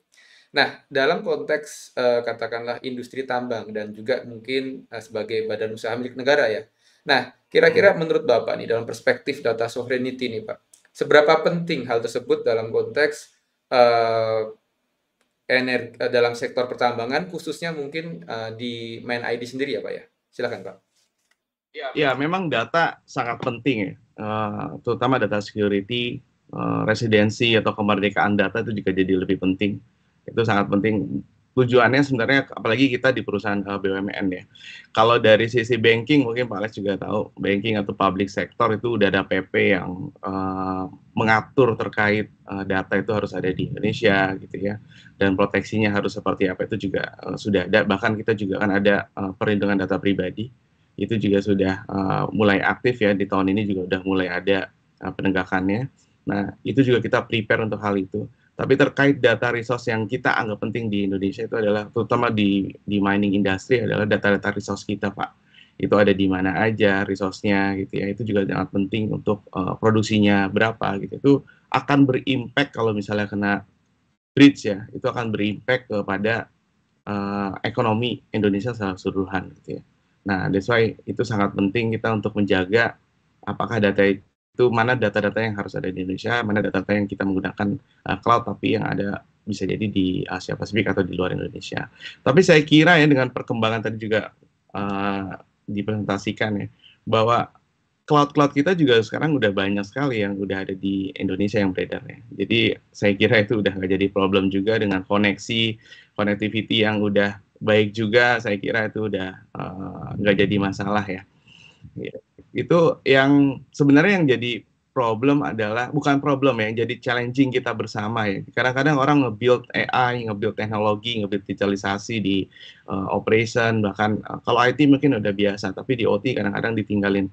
Kita punya IT security tapi nggak punya OT security. Nah, itu juga jadi penting. Jadi uh, jangan lupa kita ngebangun sesuatu tapi nggak mikirin uh, cyber security-nya itu seperti apa protection dari dari Nah, kalau main ID kita pakai uh, frameworknya NIST ya kebetulan. Jadi dari sisi uh, protection sampai kita uh, restore atau recovery itu seperti apa kita juga udah uh, pikirkan sampai ke sana. Gitu, Baik, terima kasih Pak Widi. Tadi sampaikan pentingnya data sovereignty ya, bahwa data itu uh, sebaiknya ada di Indonesia dan juga tadi keamanan datanya. Bagaimana juga uh, ketika kita go to digital tidak mungkin katakanlah kita tidak uh, memikirkan aspek keamanan data karena ini uh, katakanlah menjadi hal yang sangat krusial dalam era seperti yang sekarang ini gitu ya. Nah, saya akan kembali ke Mas Afif nih, Mas Afif. Tadi disampaikan katakanlah uh, terkait perspektifnya Pak Widi nih mengenai bagaimana uh, eh, AI itu akan mendistribusi uh, sektor pertambangan gitu ya. Nah, dalam konteks uh, lintas arta sebagai katakanlah uh, AI cloud provider lah ya. Nah, yang katakanlah membantu dalam konteks implementasi-implementasi yang dibutuhkan oleh para pelaku industri. Nah, dalam pandangannya Mas Afif dan ataupun juga Lintas Arta, apa yang kira-kira uh, sedang disiapkan oleh Lintas Arta dan apa saja kira-kira yang bisa membantu para pelaku sektor energi dan pertambangan ini yang uh, katakanlah mungkin sedang direncanakan atau bahkan sudah ada layanan di lintas arta. Silahkan Mas Afif. Thank you Alex. Jadi dari, Jadi dari kami sendiri Pak dari Lintas Arta kami uh, sudah memiliki beberapa pengalaman ya dengan teman-teman di bidang energi dan mineral, uh, energi dan mining juga salah satunya di mana untuk layanan terbaru kami yang sifatnya GPU ini bisa membantu untuk mendorong uh, perkembangan ataupun pengembangan AI uh, di berbagai macam industri termasuk di uh, mining juga. Da, di mana uh, yang terdekat ini dalam uh, selain kami menyiapkan infrastruktur GPU, di mana kami akan memberikan sekitar uh, menyiapkan sekitar 1000 GPU card gitu ya, uh, yang dapat mendukung kecepatan hingga 800 giga uh, di sisi back-end-nya. Kami juga sedang menyiapkan uh, beberapa platform yang mendukung untuk jalannya AI di atas GPU kami. Di antaranya selain kerjasama dengan tadi yang sudah disampaikan, disampaikan bahasa.ai, uh, kami juga bekerja sama dengan beberapa software-software penyedia untuk uh, teknologi yang spesifik ke mining ataupun oil and gas gitu ya. Jadi nanti uh, kita bisa menjawab 100% uh, tidak hanya dari sisi infrastruktur, kita satu juga bisa membantu menyediakan dari sisi software juga. Dan juga di luar itu kami sedang mengembangkan beberapa proyek terkait uh, yang paling dekat ini terkait Gen AI.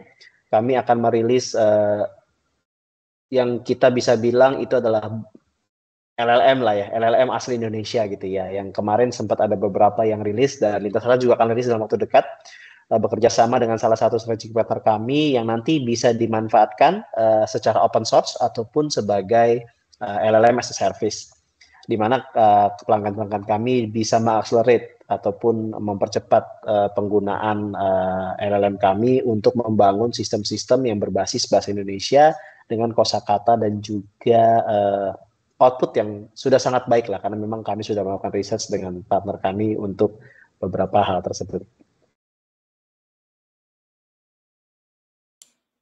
Oke, baik. Uh, terima kasih uh, Mas Afif atas penjelasannya. Jadi dalam konteks tadi udah banyak kerencananya dan juga udah ada beberapa yang sudah dilakukan gitu ya Mas ya, Afif ya. Ya, moga-moga semuanya bisa berjalan dengan baik Mas Afif. Oke, berikutnya Mas Afif tadi kan uh, disampaikan ya uh, salah satu keunggulan dari uh, lintas Arta ini adalah tadi data sovereignty gitu ya, bahwa data itu ada di Indonesia dan uh, katakanlah dilayani oleh teknologi provider yang ada di Indonesia. Dan kita tahu bahwa saat ini uh, ketika kita ngomong eh, AI ataupun cloud gitu ya, itu banyak sekali kan sekarang global provider yang ada di Indonesia ya. Kita tahu ada mungkin AWS, uh, Google, Microsoft Azure dan seterusnya. Nah, Mas Afif kalau boleh tahu dibandingin katakanlah kompetitor-kompetitor yang ada di Indonesia tadi gitu yang saya sebutkan. Uh, mungkin bisa katakanlah dijelaskan lebih lanjut, Mas. Uh, di mana katakanlah posisi lintas arta uh, dalam persaingan dengan uh, katakanlah para teknologi provider yang lain gitu ya, Mas. Silakan, Mas Afif.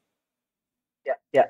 Thank you, Pak. Jadi terkait data sovereignty sendiri, sendiri Pak, uh, ada satu hal yang menjadi pembeda yang jelas antara kita dengan uh, global hyperscaler. Uh, di mana secara company uh, by default karena mereka itu kebanyakan adalah US company, mereka tunduk terhadap uh, eh, US law. Dan ada satu US law yang uh, memang menjadi concern terkait sovereignty yang memang ini sudah dibahas duluan di Eropa ya. Uh, makanya di kita keluarin PDP, di sana keluarin GDPR. Itu nama law-nya adalah Cloud Act, di mana uh, US government itu bisa dengan uh,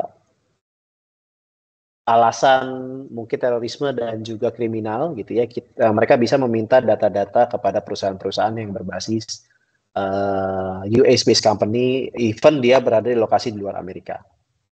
Pada umumnya uh, rekan-rekan dari global hyperscaler pasti menjaga uh, data confidentiality dan juga uh, data privacy dari pelanggan-pelanggannya gitu ya. Tapi uh, itu tidak menutup kemungkinan kalau mereka tetap harus patuh terhadap uh, aturan salah satunya adalah Cloud Act yang tadi.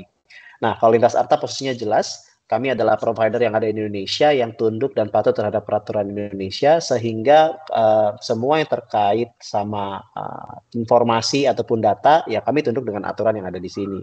Sehingga kalau misalnya memang dibutuhkan compliance terkait keamanan data, data privasi, kami akan mengacu ke peraturan yang ada di Indonesia dan pastinya akan melindungi data-data yang uh, sifatnya sensitif dengan protokol standar gitu ya. Kalau misalnya tadi Pak Widi sempat mentionnya IST, uh, eh, kita juga apply the same thing. Tapi untuk sovereignty kita menggunakan standar salah satunya dari VMware yang memang mengacu ke GDPR juga. Di mana kita benar-benar mengatur ya terhadap akses terhadap infrastruktur, akses terhadap data, akses terhadap informasi. Dan kita memastikan uh, informasi itu tidak bisa sembarangan diakses oleh eh, orang-orang uh, yang memang tidak uh, bukan tidak bertanggung jawab ya lebih tepatnya tidak memiliki hak terhadap uh, akses data tersebut. Karena terkadang uh, ada mungkin ada pihak-pihak ketiga yang memang membutuhkan akses data tersebut untuk kepentingan militerisasi tapi dengan menggunakan konsep cloud sovereign kami itu jadinya ketika pihak tersebut membutuhkan itu harus ada pembicaraan di level country to country gitu ya. Yang nanti ya uh, pastinya uh, mungkin akan di allow at the end of the day tapi itu melalui proses yang sangat panjang. Dan uh, menganut apa ya sistem data yang benar-benar secure dan juga uh, uh, safe gitu ya. Jadi nggak bisa sembarangan orang bisa akses informasi-informasi yang ada di cloud kita.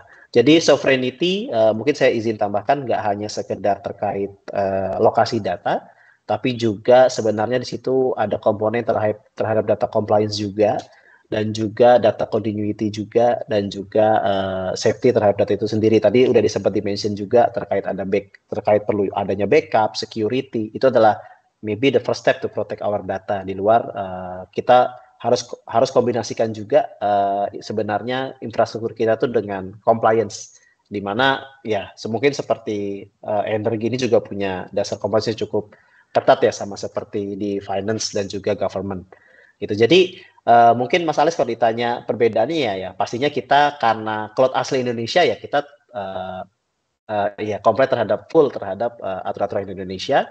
Dan juga uh, positioningnya kita juga sebenarnya kalau dibilang bermusuhan enggak juga. Kita juga sebenarnya partnership juga sama rekan-rekan global hyperscaler.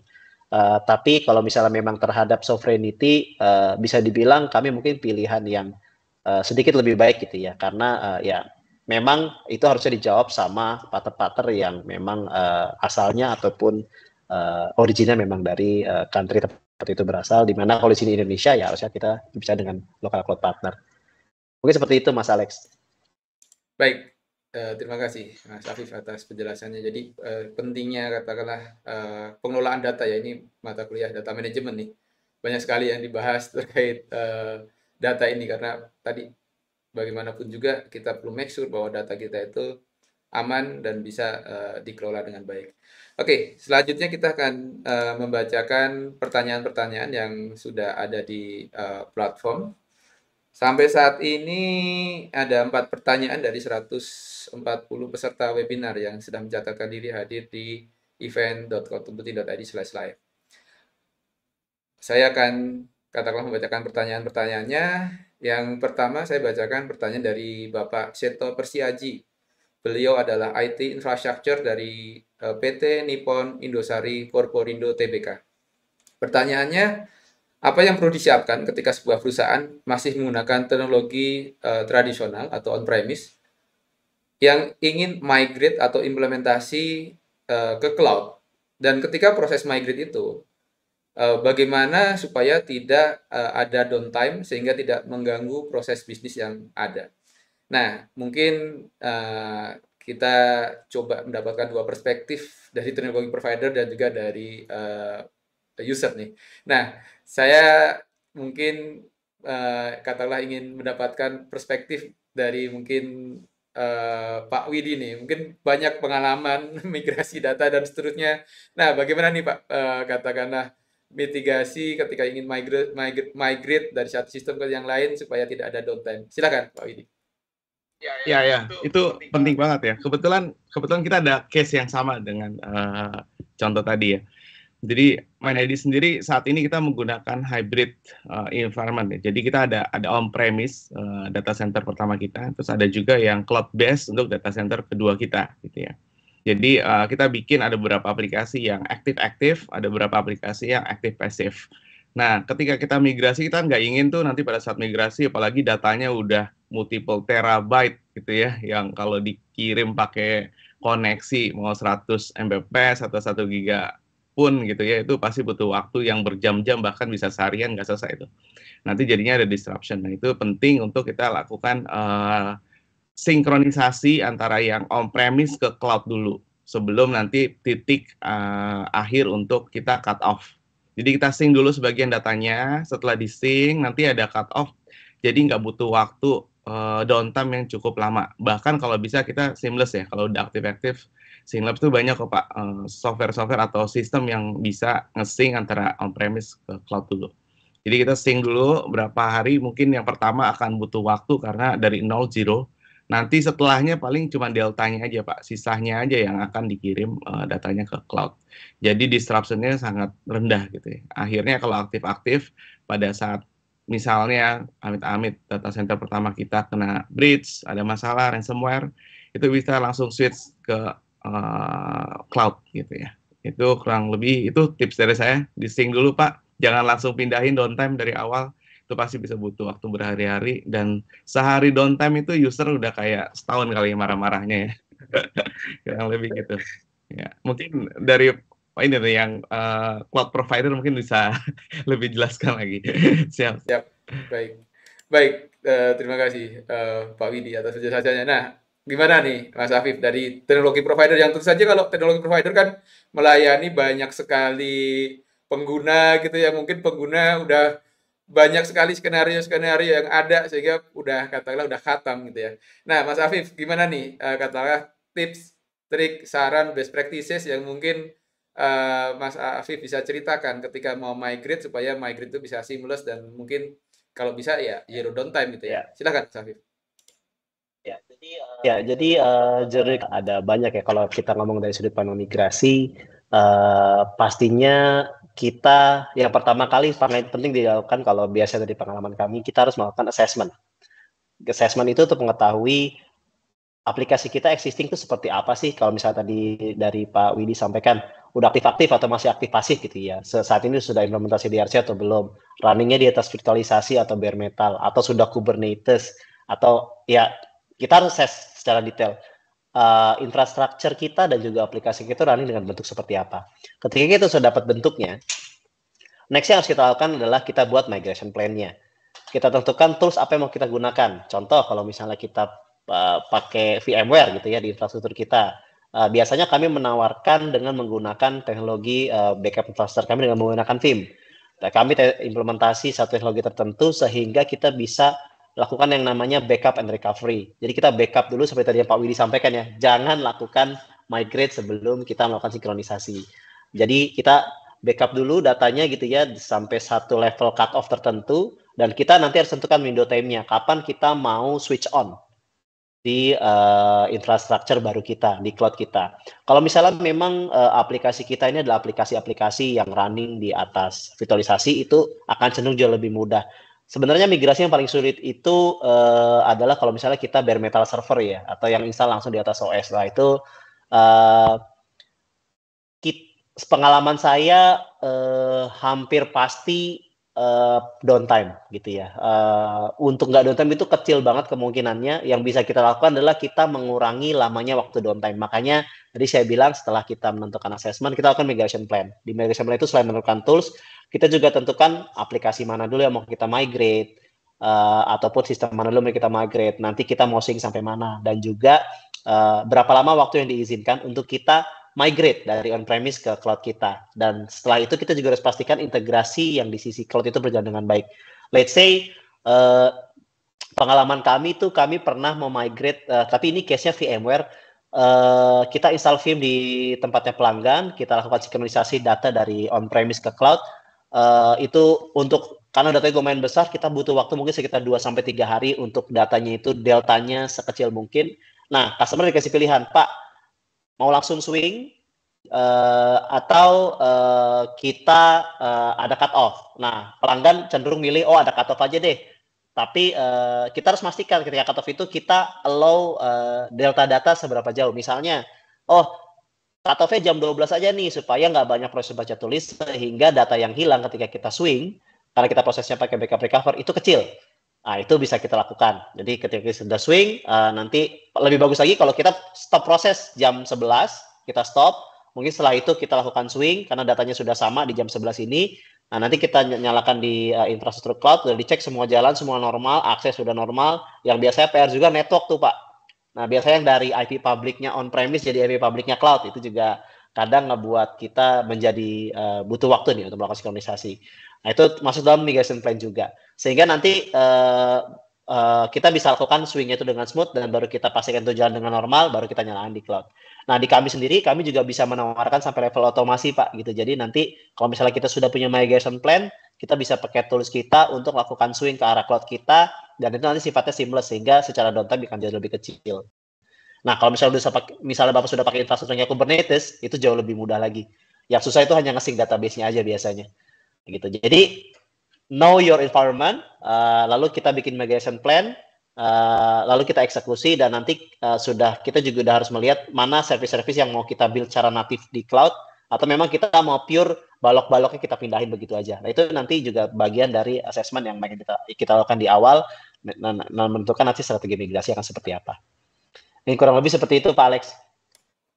Baik, terima kasih Mas Afif. Dan juga tadi timing itu penting ya Mas. Dan mungkin saat ini nih, lebaran gini nih, ini juga mungkin salah satu timing kalau kita mau migrate uh, data yang atau ya migrate sistem lah ya karena nanti pas yeah. pada uh, pulang mudik rata-rata ya itu kesempatan salah satu kesempatan yang kita bisa gunakan gitu ya.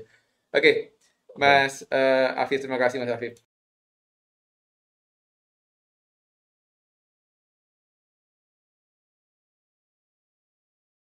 Saya bacakan pertanyaan dari para peserta lainnya.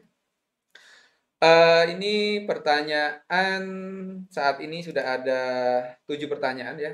Uh, ini saya bacakan pertanyaan dari Bapak Andre Pratama, uh, dosen di Universitas Gunadarma. Nah, pertanyaannya adalah berapa besar ukuran server untuk implementasi AI uh, khususnya untuk geospasial dan uh, bisakah model uh, di layanan tersebut untuk bisa plug and play ketika menambahkan GPU ya. Nah, uh, mungkin dalam konteks geospasial nih uh, dari Pak Widi nih, Pak Widi mungkin punya pengalaman Pak Widi kalau terkait sama data geospasial dalam implementasi misalnya uh, apa yang dipakai di main ID ataupun anak perusahaannya kurang lebih seperti apa Pak uh, Widi ya? Silakan Pak. Iya, aplikasi-aplikasi yang macam itu sebenarnya butuh resource yang uh, cukup besar ya. Sebenarnya kalau kita bedakan antara uh, sistem itu ada di on-premise atau sistem atau di cloud ya. Kalau misalnya uh, adanya di on-premise pasti ada data-data sampel tergantung data-data sampel itu sebanyak apa dan sebesar apa ya. Nah, akhirnya kalau datanya itu besar juga butuh proses yang jauh lebih besar juga. Tadi saya setuju tuh sekarang kan modelnya udah nggak di uh, running processingnya ada di CPU tapi udah di GPU ya. Nah, itu kalau membutuhkan proses uh, analitik yang lebih Eh, cepat itu menggunakan GPU gitu ya. Tapi kalau analitiknya ini lebih ke datanya sedikit, uh, prosesnya hanya video gitu ya, gambarnya juga mungkin nggak banyak, uh, hitungannya harian, nggak nggak per transaction per berapa detik itu gambarnya ada gitu. Karena kalau kasusnya di mining kan nggak satu hari itu mungkin gambarnya juga nggak banyak gitu ya, tapi prosesnya yang yang butuh waktu yang banyak. Sebesar apa tergantung datanya sebenarnya Pak, tapi kalau saran saya Bapak ada prosesnya itu butuh yang uh, butuh computing yang sangat besar dan itu transaksinya tidak dilakukan day to day, mendingan menggunakan cloud ya. Karena dengan menggunakan cloud itu sebenarnya kita lebih efisien, nggak nggak selalu uh, processingnya itu dipakai. Jadi tergantung uh, istilahnya itu kalau di cloud mungkin terus di uh, benarkan ya uh, oleh Mas Ivan itu uh, kalau di cloud tuh kita bisa PSU Go lah. Uh, kalau kita lagi peak, ya itu kita lagi naikin aja compute-nya atau GPU-nya gitu ya. Tapi pas kita lagi nggak peak, ya udah di stop. Itu kan jauh lebih efisien ya. Itu uh, dari saya perspektif dari saya. Baik, terima kasih Pak Widi atas perspektifnya ya. Ini dari pengalamannya Pak Widi, Pak Widi langsung nih. Nah, dalam, dalam konteks tadi uh, Mas Afif, pertanyaannya, uh, kalau di Lodeka nih Mas, bisa nggak tadi pertanyaannya uh, hot swap ya? Kalau mau nambahkan di GPU uh, bisa langsung dilakukan misalnya. Itu bisa nggak Mas di Cloudeka? Silakan Mas Afif. Ya, thank you Mas, Mas Alex. Ya, uh, sebelumnya makasih juga nih Om Pak Widi udah ngasih insight yang bagus ya. Kalau butuh paper use mending ke cloud aja. Itu saya setuju banget Pak. ya, karena memang uh, tadi balik lagi uh, selain optimalisasi terkait uh, resource, kita juga bisa uh, membantu untuk uh, increase atau scalable ya. Karena memang salah satu ciri itu kita bisa scalable dengan mudah. Jadi kalau ditanya nanti uh, untuk running di GPU kita, apakah bisa nambah GPU secara hot swap gitu ya kalau istilahnya di on premise ya? Itu sangat mungkin dilakukan even dengan pendekatan yang uh, terutama dengan pendekatan yang virtual gitu ya seperti uh, eh, VM ataupun dengan Kubernetes bahkan yang Kubernetes itu lebih seamless lagi kita bisa konsum uh, beberapa GPU secara langsung dengan kita manfaatkan teknologinya Nvidia yang namanya NVLink kita bisa konsum bahkan sampai uh, kalau saya nggak salah 30-an GPU secara langsung gitu. Dan itu nanti kita bisa tambahkan secara bertahap nah di luar itu uh, mungkin kalau yang sifatnya bare metal karena dia sifatnya fisik server ya, itu mungkin agak lebih limited. Tapi kalau misalnya kita punya kapasitas itu kita bisa tambahkan node yang artinya menambahkan juga GPU yang bisa kita konsum juga. Gitu. Jadi at the end betul kita bisa tambahkan sesuai kapasitas dan uh, uh, good newsnya uh, untuk GPU cloud kita kita hourly base gitu. Jadi kalau misalnya benar-benar hanya dibutuhkan ya tiga hari, empat hari, atau misalnya mau butuh training data sekitar satu bulan, uh, atau kalau misalnya inferencing cuma butuh beberapa jam atau beberapa detik gitu ya, yang nanti dikonvert jadi jam, itu uh, itu bisa kita absorb di uh, GPU cloud um, bisnis model kita gitu. Jadi bisa mendukung pay per use dan bisa ditambah secara uh, mudah dan otomatis. Baik, terima kasih Mas Afif atas penjelasannya. Oke, kita uh, akan membacakan pertanyaan lagi. Ini satu pertanyaan terakhir ya dari para peserta ya, uh, karena mengingat waktu yang ada. Uh, pertanyaan terakhir dari para uh, peserta ini saya bacakan adalah pertanyaan dari Bapak Albian Mari Maruf. Beliau adalah Project Officer di Jabar Digital Service. Pertanyaannya adalah uh, Mind ID sudah uji coba teknologi kecerdasan buatan untuk eksplorasi mineral. Apakah saat ini itu sudah efektif penggunaannya? Dan kemudian apa dampak positif atau negatif terhadap uh, kinerja perusahaan uh, saat ini gitu. Nah, kira-kira uh, bagaimana nih Pak Widi untuk menjawab pertanyaan dari Bapak Albian Mari Maruf? Silahkan Pak Widi.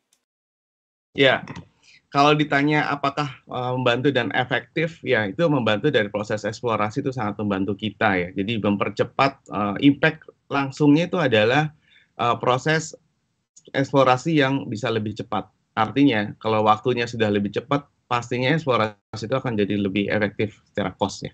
Itu pertama. Tapi apakah kita uh, stop di situ? Itu uh, enggak ya, karena teknologi yang kita bangun itu sebenarnya teknologi yang uh, saya kira masih bisa dikembangkan lagi karena ini kita tidur nanti malam ya itu teknologi udah mungkin 10 atau 100 kali lipat berkembangnya gitu. Padahal kita tidur baru satu malam gitu. Yang tadi saya ceritain tuh saya udah ngomong uh, beberapa uh, penggerak AI lah. Kita udah ngomong ke Gen AI dengan uh, IBM bahkan ya atau uh, AI dengan uh, teknologi China misalnya Huawei gitu ya. Itu itu juga sudah uh, berkembang pesat itu dari dunia dunia uh, teknologi yang kita gunakan untuk eksplorasi. Nah, kita akan menuju ke arah sana. Jadi kita ngikutin. Tujuan utamanya adalah cost efisiensi tentunya dan uh, efektivitas dari sisi uh, akurasi. Nah, itulah yang uh, kita terus kembangkan, Pak. Jadi kalau ditanya apakah impact-nya ke perusahaan sangat besar, ya sangat besar karena waktu eksplorasi jadi lebih cepat, akhirnya cost juga jadi lebih efisien, Pak. Tujuan itu, ya. Ya, terima kasih Pak Widi atas penjelasannya. Uh, Mas Afif, uh, menyambung tadi penjelasan dari Pak Widi nih, uh, Mas Afif. Nah, ini kan sebenarnya banyak orang khawatir ya mengenai dampak negatif dari artificial intelligence gitu ya. Nah, kira-kira nih Mas Afif, dalam perspektifnya Mas Afif, apa yang perlu kita khawatirkan dan ada nggak sih katakanlah dampak negatif dari adanya artificial intelligence ini? Silakan Mas Afif. Iya, uh, thank you Pak. Jadi ini saya berdasarkan informasi riset yang saya baca ya Pak ya. Jadi uh, mungkin akan sekitar sampai 40% lah ya uh, pekerjaan yang akan terdampak oleh AI secara langsung maupun tidak langsung. Tapi uh, mengutip dari uh, informasi yang saya baca juga, at the end the one who survive is the one who adapt gitu ya. AI is just technology gitu. At the end uh, fungsi utama AI itu bukan menggantikan manusia tapi membantu manusia gitu. Jadi memang kita yang harus adapt. Jadi kita memang harus upgrade juga gitu ya. In a way contoh kalau misalnya mungkin suatu hari nanti yang presentasi seperti ini saya udah digantikan sama AI gitu ya untuk menyampaikan informasi. Cuma kan at the end uh, informasi yang di-create, terus uh, cara dia menjawab pertanyaan, uh, informasi yang dia miliki, uh, juga kecerdasan yang dia miliki itu kan harus dari kita juga yang manusia juga gitu yang memfeeding, yang menginformasikan gitu. Jadi uh, menurut saya uh, worry boleh, tapi jangan berlebihan karena at the end ya kita harus adapt gitu. Kita memang uh, kita harus memandang ya ini sebagai teknologi yang membantu kita mempercepat penyelesaian pekerjaan gitu ya. Contoh yang paling simpel saya pakai gambaran anak kuliah gitu ya. Anak kuliah itu sekarang uh, saya boleh bilang kemampuan codingnya itu mungkin akan jauh lebih menurun dalam waktu 3 sampai 4 tahun ke depan karena lahirnya ChatGPT. Bahkan si uh, Jason Chuang kemarin di uh, eh, GTC dia bilang uh, kita udah nggak udah nggak usah coding lagi, udah AI aja yang ngerjain codingannya. Gitu. Tapi AI mau coding apa? Mau bikin web kah? Mau bikin aplikasi terkait mining kah? Mau bikin cloud kah? Or whatever it is. Kalau nggak ada kita human yang mengoperate dan ngeprom mereka untuk melakukan sesuatu. Jadi menurut saya khawatir boleh, tapi tetap ya seperti saya sampaikan tadi, kita masih punya banyak sekali peluang untuk memanfaatkan AI membuat kita menjadi jauh lebih maju. Bahkan menurut saya ini bisa mengakselerasi kita untuk melompat lebih jauh gitu. Yang tadinya jujur aja saya juga nggak bisa coding gitu, tapi ngobrol sama teman-teman saya yang programmer saya jadi lebih paham karena tinggal tanya aja ChatGPT maksudnya apa gitu kan.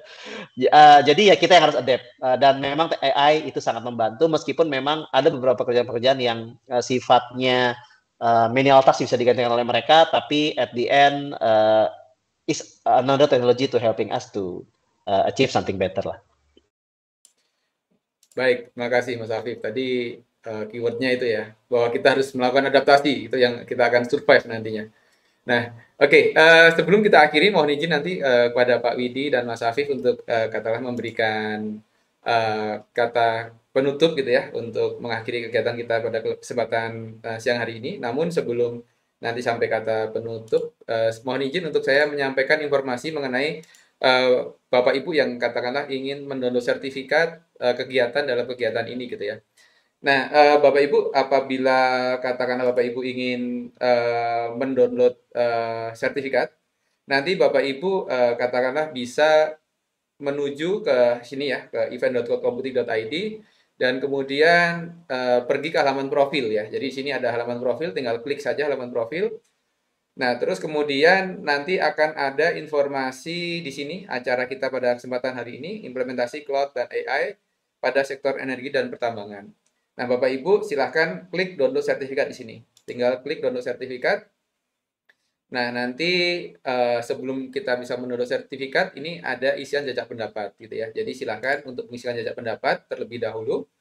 Nah, nanti tinggal diisikan apakah Bapak Ibu uh, nanti menjawab uh, seperti apa gitu ya. Silahkan diisikan di sini. Ini saya isi, mohon maaf saya isi sembarangan ya. Saya contohkan saja.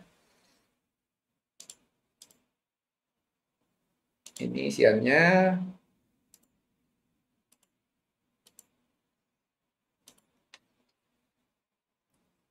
Oke, kemudian saya tekan tombol submit. Setelah tekan saya tekan tombol submit, nanti akan ada tombol cetak sertifikat. Nah, ini tinggal klik cetak sertifikat. Oh ya, ini sebelum cetak sertifikat ada lagi nih.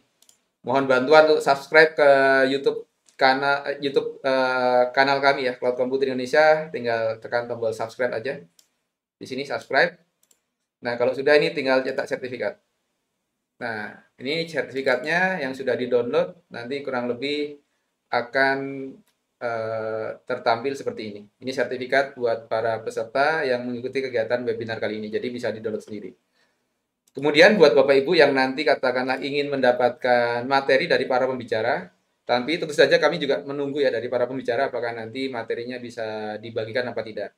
Nah, apabila nanti materinya bisa dibagikan, nanti Bapak Ibu uh, tinggal ke halaman sini. Nah, nanti di sini akan ada tombol baru untuk download sertifik maaf download materi gitu ya. Nanti ada download dokumen gitu. Nah, nanti tinggal saja download dokumennya di sini. Dan mohon izin juga menginformasikan acara kita di minggu depan untuk hari Selasa. Kita akan ada webinar implementasi cloud dan AI pada industri jasa keuangan. Nanti akan ada pembicara dari Bank Negara Indonesia, dari Asosiasi Fintech eh, Indonesia, dan juga dari Lintas Arta Klodeka. Oke, baik. Itu saja yang ingin saya sampaikan. Untuk berikutnya kita akan katakanlah mendapatkan uh, kata penutup atau kalimat penutup dari para pembicara yang katakanlah bisa memberikan saran ataupun hal-hal yang penting dalam implementasi cloud dan AI pada sektor energi, energi dan pertambangan. Kita mulai terlebih dahulu dari Pak Widi. Pak Widi, silahkan Pak Widi. Ya, ya uh, oke. Okay. Dari saya mungkin pendek aja. Uh, digitalisasi itu bukan hanya rencana di atas kerja ya, Bapak Ibu, tapi harus diwujudkan dalam uh, tindakan, diimplementasikan. So jangan apa jangan takut mengambil resiko karena di dalamnya terdapat peluang untuk berkembang untuk kita sendiri untuk ataupun untuk perusahaan. Belajar dari kegagalan adalah uh, kunci untuk kesuksesan, terus maju dan jadilah agent perubahan di era digital ini. Baik. Mantap, Pak Widi. Terima kasih banyak. Jadi jangan ini ya Pak Widi ya, jangan takut gagal ya, karena gagal itu bisa menjadi lesson learned yang baik untuk keberhasilan kita. Oke, berikutnya Mas Afif. Ini Mas Afif. Bagaimana nih Mas Afif? Katakanlah uh, sebagai penutup, apa yang uh, perlu peserta webinar ini perhatikan dalam implementasi cloud dan AI pada sektor energi dan pertambangan? Silakan, Mas ya. Afif. Thank you, Pak Alex. Ya kalau dari saya, cloud dan AI itu teknologi. Uh, jadi kita harus menemukan uh, peluang yang tepat, partner yang tepat, dan juga kesempatan yang tepat untuk mengimplementasikan itu agar menjadi tadi seperti Pak Widi sampaikan sebuah leap atau lompatan dalam digitalisasi kita. Pastikan uh, kita memiliki roadmap yang uh, sesuai dengan uh, visi dan misi perusahaan kita terkait AI karena ada banyak sekali hal yang bisa dikembangkan ada banyak sekali peluang yang bisa kita dapatkan dengan mengimplementasikan AI di uh, teknologi di perusahaan kita. Di sini kami Lintas Arta siap membantu untuk implementasi tersebut dan juga uh, kami mendukung untuk uh, digitalisasi dan empowering Indonesia. Thank you. Terima kasih banyak Mas Afif atas kalimat penutupnya.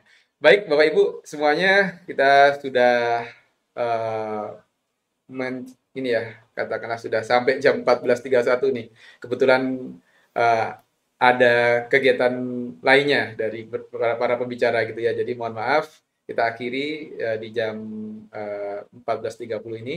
Terima kasih banyak kepada para pembicara pada kegiatan webinar ini. Terima kasih kepada Bapak Widya Kumoro, Head of ICT and Digitalization Mining Industry Indonesia atau Main ID.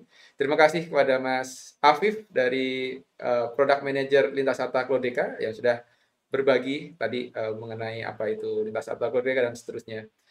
Uh, terima kasih juga kepada para peserta webinar yang telah hadir dalam kegiatan webinar kali ini. Semoga kita bisa bertemu lagi dalam kegiatan-kegiatan webinar berikutnya. Saya Alex Budianto uh, selaku katakanlah uh, pembawa acara dalam kegiatan webinar ini. Apabila ada kesalahan uh, dalam saya membawakan acara ini, saya mohon maaf. Akhir kata, wassalamualaikum warahmatullahi wabarakatuh. Sampai bertemu pada kegiatan-kegiatan berikutnya. Terima kasih. Terima kasih Pak Widi, Mas Afif. Terima kasih. Terima kasih Pak. Terima kasih Pak Alex Pak Widi. Ya.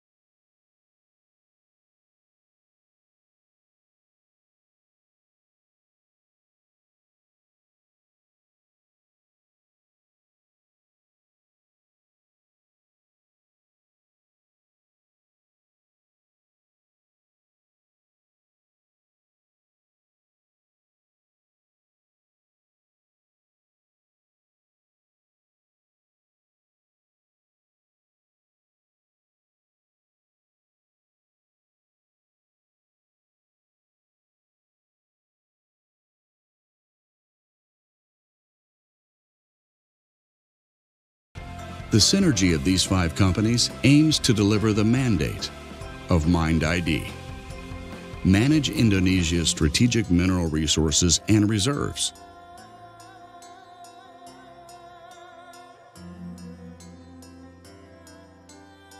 Encourage the mineral industry's development of the downstream industry and become a world-class company. As an export-oriented, vertically diversified and integrated mining company, Antam remains committed to its exploration ventures. The operational scope of the company covers mining exploration activities, mineral processing, and sales. Antam is also the biggest gold trading company in Southeast Asia. The main commodities of Antam are nickel, ferronickel, bauxite, and refined precious metal.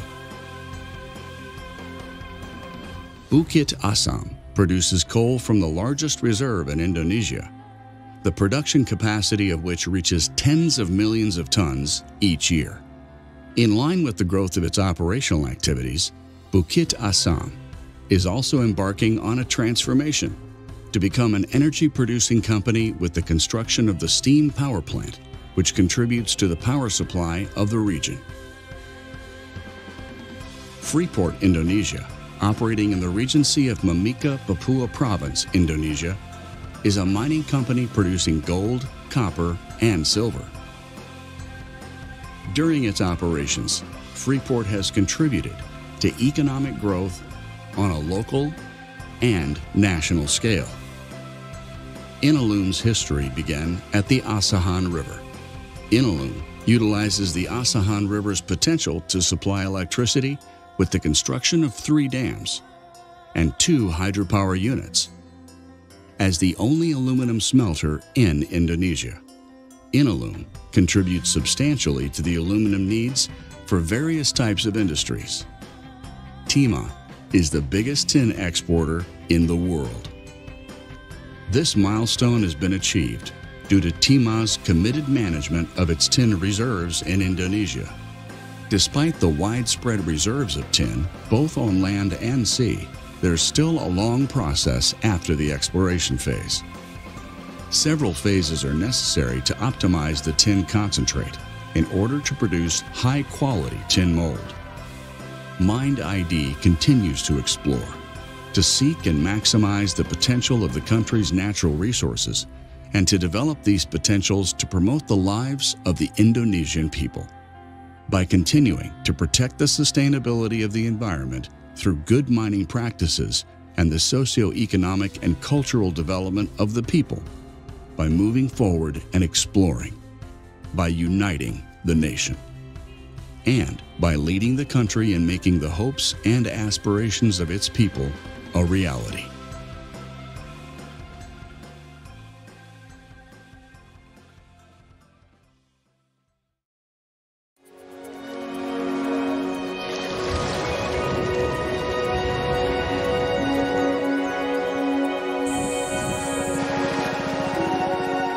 In life, it's not where you go, it's who you go with.